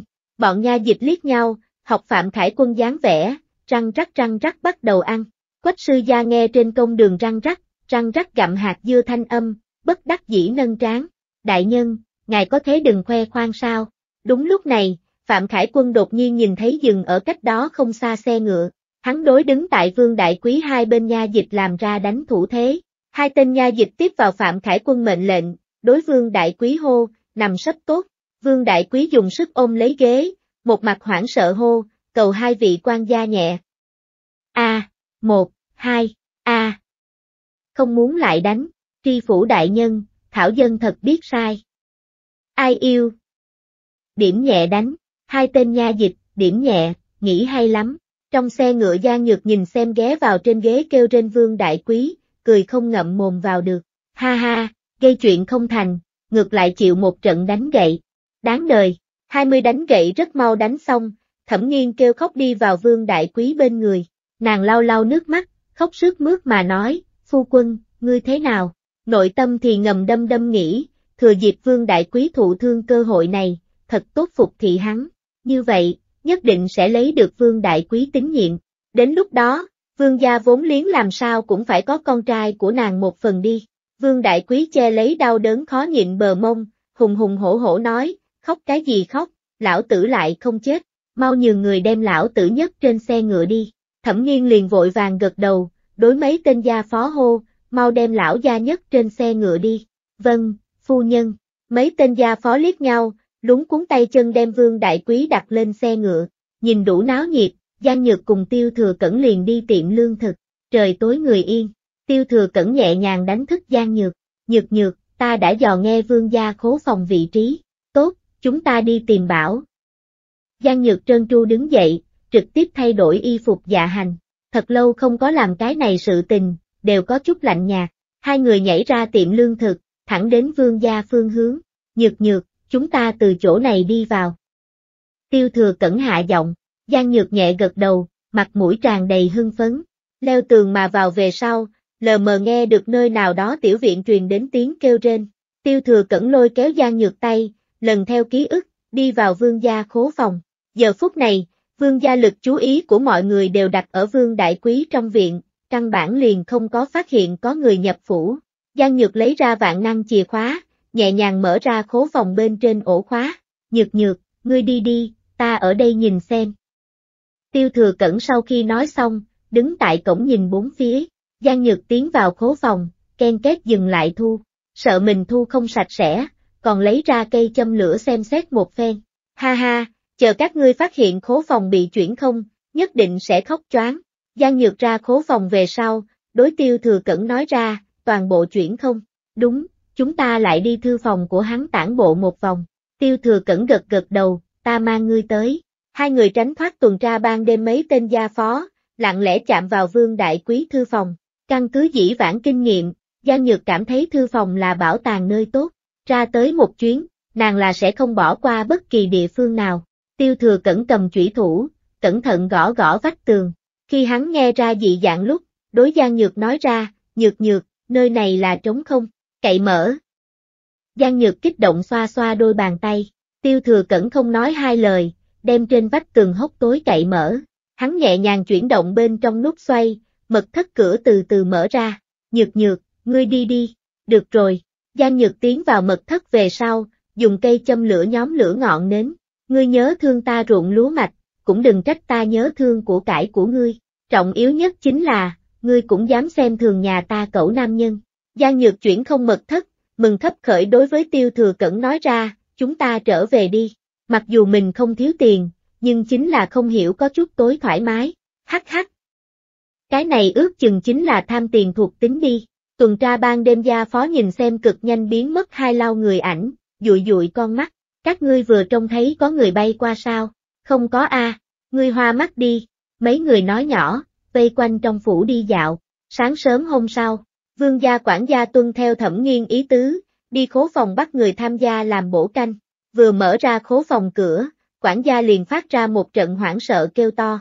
Không tốt, khố phòng mất trộn, khố phòng đồ vật toàn không gặp. Vương Đại Quý biết được tin tức này, mau nhường gia phó đem hắn mang lên khố phòng. Nhìn xem rỗng kết khố phòng, hắn giận dữ hét, đến cùng là ai làm. Khó thở phía dưới, hắn hai mắt khẽ đảo hôn mê bất tỉnh, thẩm nghiên nhìn xem trống trải khố phòng, phía sau lưng trở nên lạnh lẽo, không tốt, người kia lại xuất hiện, vương gia phải ngã nấm mốc, chương 239, có người cắt xén biên cảnh tướng sĩ khẩu phần lương thực, vương gia khố phòng bị cướp tin tức rất nhanh truyền khắp phố lớn ngõ nhỏ, vương đại quý sau khi tỉnh lại, mau nhường gia phó đem hắn mang lên thư phòng, khi hắn nhìn thấy trống rỗng mật thất lúc, cảm thấy trời đều sập, trong vòng một đêm, nhà bọn hắn liền biến thành kẻ nghèo hèn. Tỉnh táo lại về sau, Vương Đại Quý đem tối hôm qua tuần tra ban đêm gia phó nhóm gọi tới. Hắn hùng hùng hổ hổ mà nói, các ngươi tối hôm qua tuần tra ban đêm lúc, có thế phát hiện có tặc nhân chui vào trong phủ. Mấy tên gia phó liếc nhau, nơm nớp lo sợ mà nói, hồi, về lão gia, tối hôm qua chúng tiểu nhân không có phát hiện tặc nhân, chính là nhìn thấy cũng không dám nói a. Thẩm nghiên vội vàng chạy đến, ra vẻ lo lắng nói ra, chúng ta vẫn là đi quan phủ báo án đi, thật vất vả dính vào một cái phú hộ, cái này lại la ó, trong vòng một đêm toàn không có, làm sao cứ như vậy không may, cái này sự tình, chẳng lẽ cùng tiêu gia vợ chồng có quan hệ, vương đại quý không lo được bờ mông tổn thương, đối gia phó quát, tranh thủ thời gian chuẩn bị xe ngựa, lão tử muốn đi quan phủ báo án, một đoàn người sốt ruột bận biệu hoảng đi vào phủ nha, vương đại quý quỳ gối trên công đường, nghe răng trợn mắt hô, tri phủ đại nhân, đêm qua thảo dân nhà bị cướp, nhà ta khố phòng, thư phòng tài vật tất cả đều không gặp. Ô ô, Phạm Khải Quân ghét bỏ nhìn xem Vương Đại Quý, nghiêm trang hỏi, ngươi gần đây có phải là đắc tội với người rồi? Vương Đại Quý nghe vậy, vuốt một cái nước mắt, hắn nghiêm túc suy nghĩ một chút về sau, chém đinh chặt sắt nói, đại nhân, thảo dân một mực giữ khuôn phép, tuyệt đối không có đắc tội với người. Phạm Khải Quân nhìn xem Vương Đại Quý mạnh miệng bộ dáng, kém chút cười ra tiếng, tốt a. Ngươi không có đắc tội với người, ngươi chỉ là đắc tội một vị nào đó gia. Muốn nói đi, vị gia này động tác rất nhanh. Phạm Khải Quân chỉnh sửa lại một chút bộ mặt biểu lộ, trầm giọng nói, bản phủ sẽ phái người đi truy tra chuyện này, ngươi trở về kiên nhẫn chờ xem. Vương Đại Quý nghe vậy, Trân Tru đập một cái khấu đầu, thảo dân cám ơn tri phủ đại nhân, chỉ mong có thế tìm, về những tài vật kia đi, hoa khê thôn, trong thư phòng, tiêu thừa cẩn nhìn xem vừa lấy được mật hàm, mở miệng nói, nhược nhược, đám kia áo bông, chăn bông đã làm tốt, tay nâng chén trà gian nhược nghe vậy, hai mắt tỏa sáng, thật sao, vậy chúng ta liền đi biên cảnh một chuyến đi, thuận tiện lại đi dân tộc du mục bên kia làm hai đầu bò sữa dưỡng dưỡng, giữa mùa đông, đến hai chén nóng hổi trà sữa, quá dễ chịu, ám nhị cầm một phần khác mật hàm đi vào cửa thư phòng, đưa tay gõ cửa một cái, thùng thùng, tiếng, chủ tử, đây là kinh thành đến mật hàm. Ám nhị nói, đem mật hàm dâng lên, tiêu thừa cẩn cầm qua mật hàm, trầm giọng nói ra, lui ra đi, thuộc hạ cáo lui, ám nhị lui ra về sau, tiêu thừa cẩn mở ra trong tay mật hàm, trong khoảnh khắc, sắc mặt của hắn trở nên âm trầm xuống, đường trung hút cùng hộ bộ thượng thư cũng dám cắt xén lương thảo, gian nhược, cậu nam nhân thế nào còn trở mặt rồi, tiêu thừa cẩn cầm trong tay mật hàm đưa cho Giang Nhược, Nhược Nhược, có người cắt xén biên cảnh tướng sĩ khẩu phần lương thực, Giang Nhược tiếp nhận mật hàm, gây chú ý như thế xem xét, lúc này thở phì phì vỗ bàn một cái, đồ chó, cũng dám làm ra như thế tan lương tâm sự tình, sống không kiên nhẫn, nhược nhược bớt giận, chúng ta dành thời gian đi thu thập bọn họ. Tiêu thừa cẩn nhẹ vỗ về Giang Nhược phía sau lưng, Giang Nhược cười lạnh một tiếng, quan mới đến đốt ba đống lửa, vị này đường thừa tướng lá gan rất mập a, còn có cái này hộ bộ thượng thư Khương Đại Nhân, hắn không phải Giang Kỳ Niên môn sinh sao? Tiêu thừa cẩn nghe vậy, nhíu mày, từ khi Giang Kỳ Niên bị cách chức, tăng thêm bùi thị chuyện này, hắn môn sinh đã sớm ngầm đâm đâm, khát mưu đường ra, Giang Nhược ngoắt ngoắt khóe môi, tốt mới ra tan đàn sẽ nhé. Giang Kỳ Niên khổ tâm kinh doanh nhiều năm như vậy, kết quả là lại công giả tràng, đáng đời, hừ.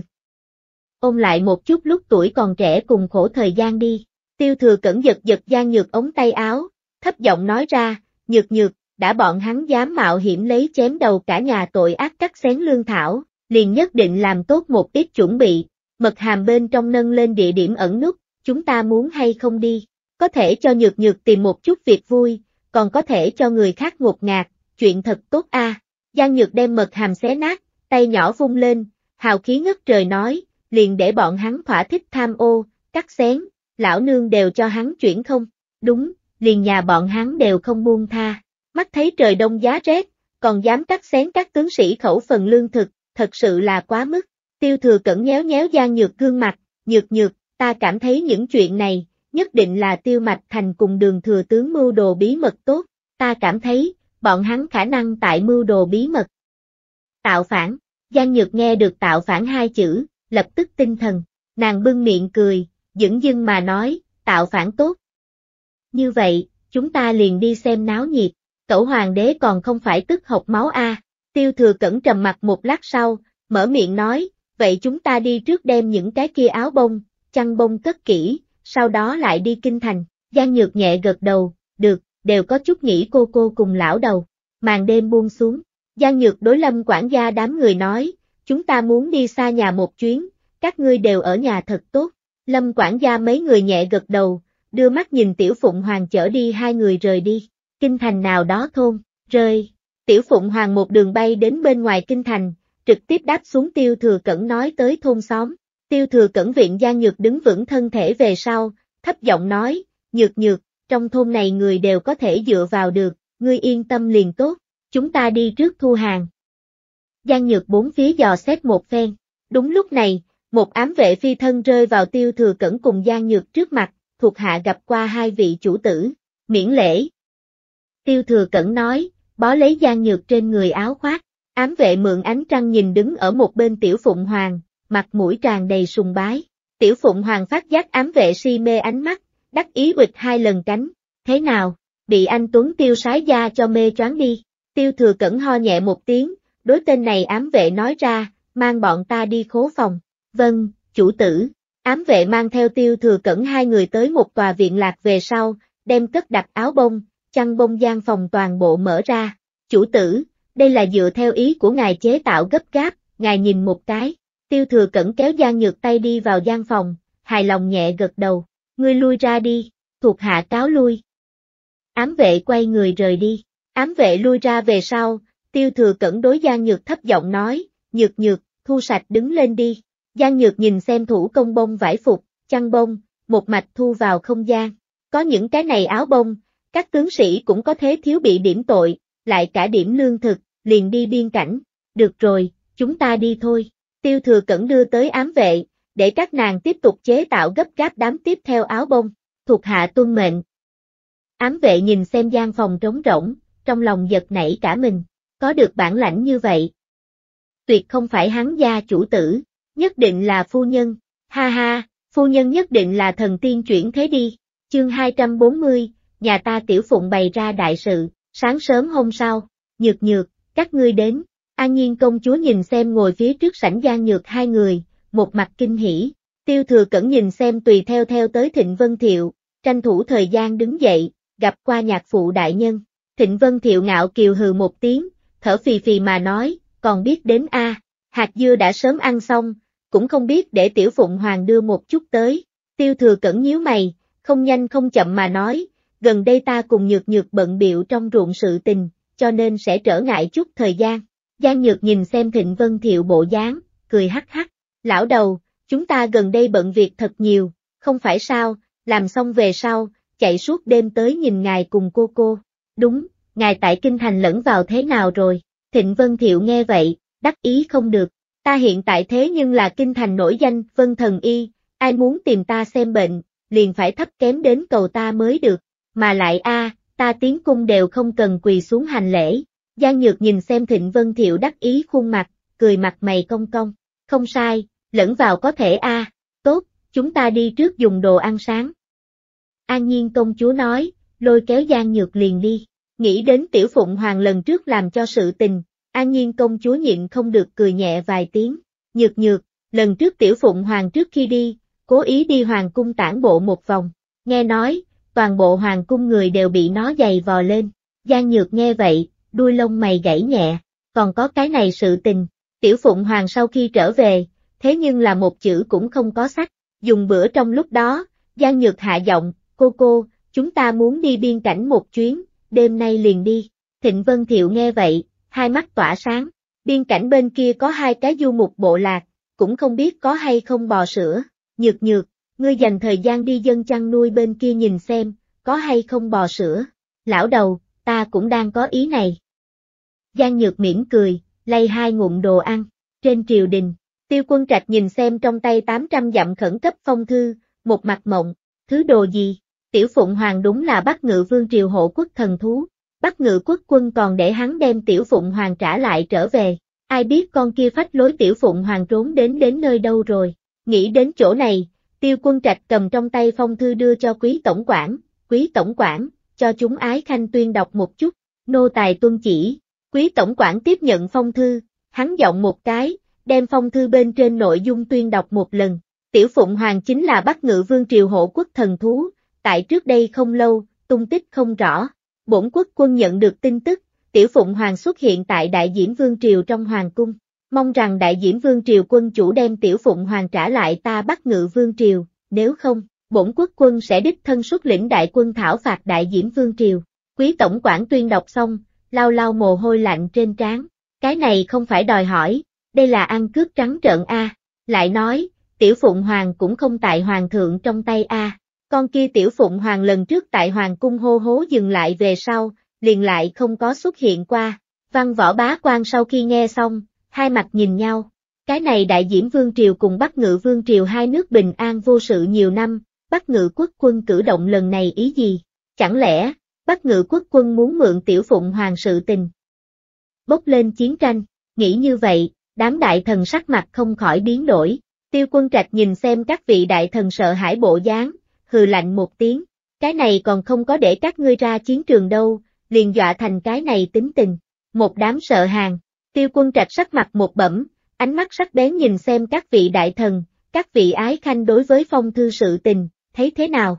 Đường Trung Húc trầm mặt một lát sau, kiên trì đứng ra liệt, Hoàng thượng, không nói trước tiểu phụng hoàng về ai, hắn bắt ngự quốc quân cũng không có đạo lý cho ta muốn a. À.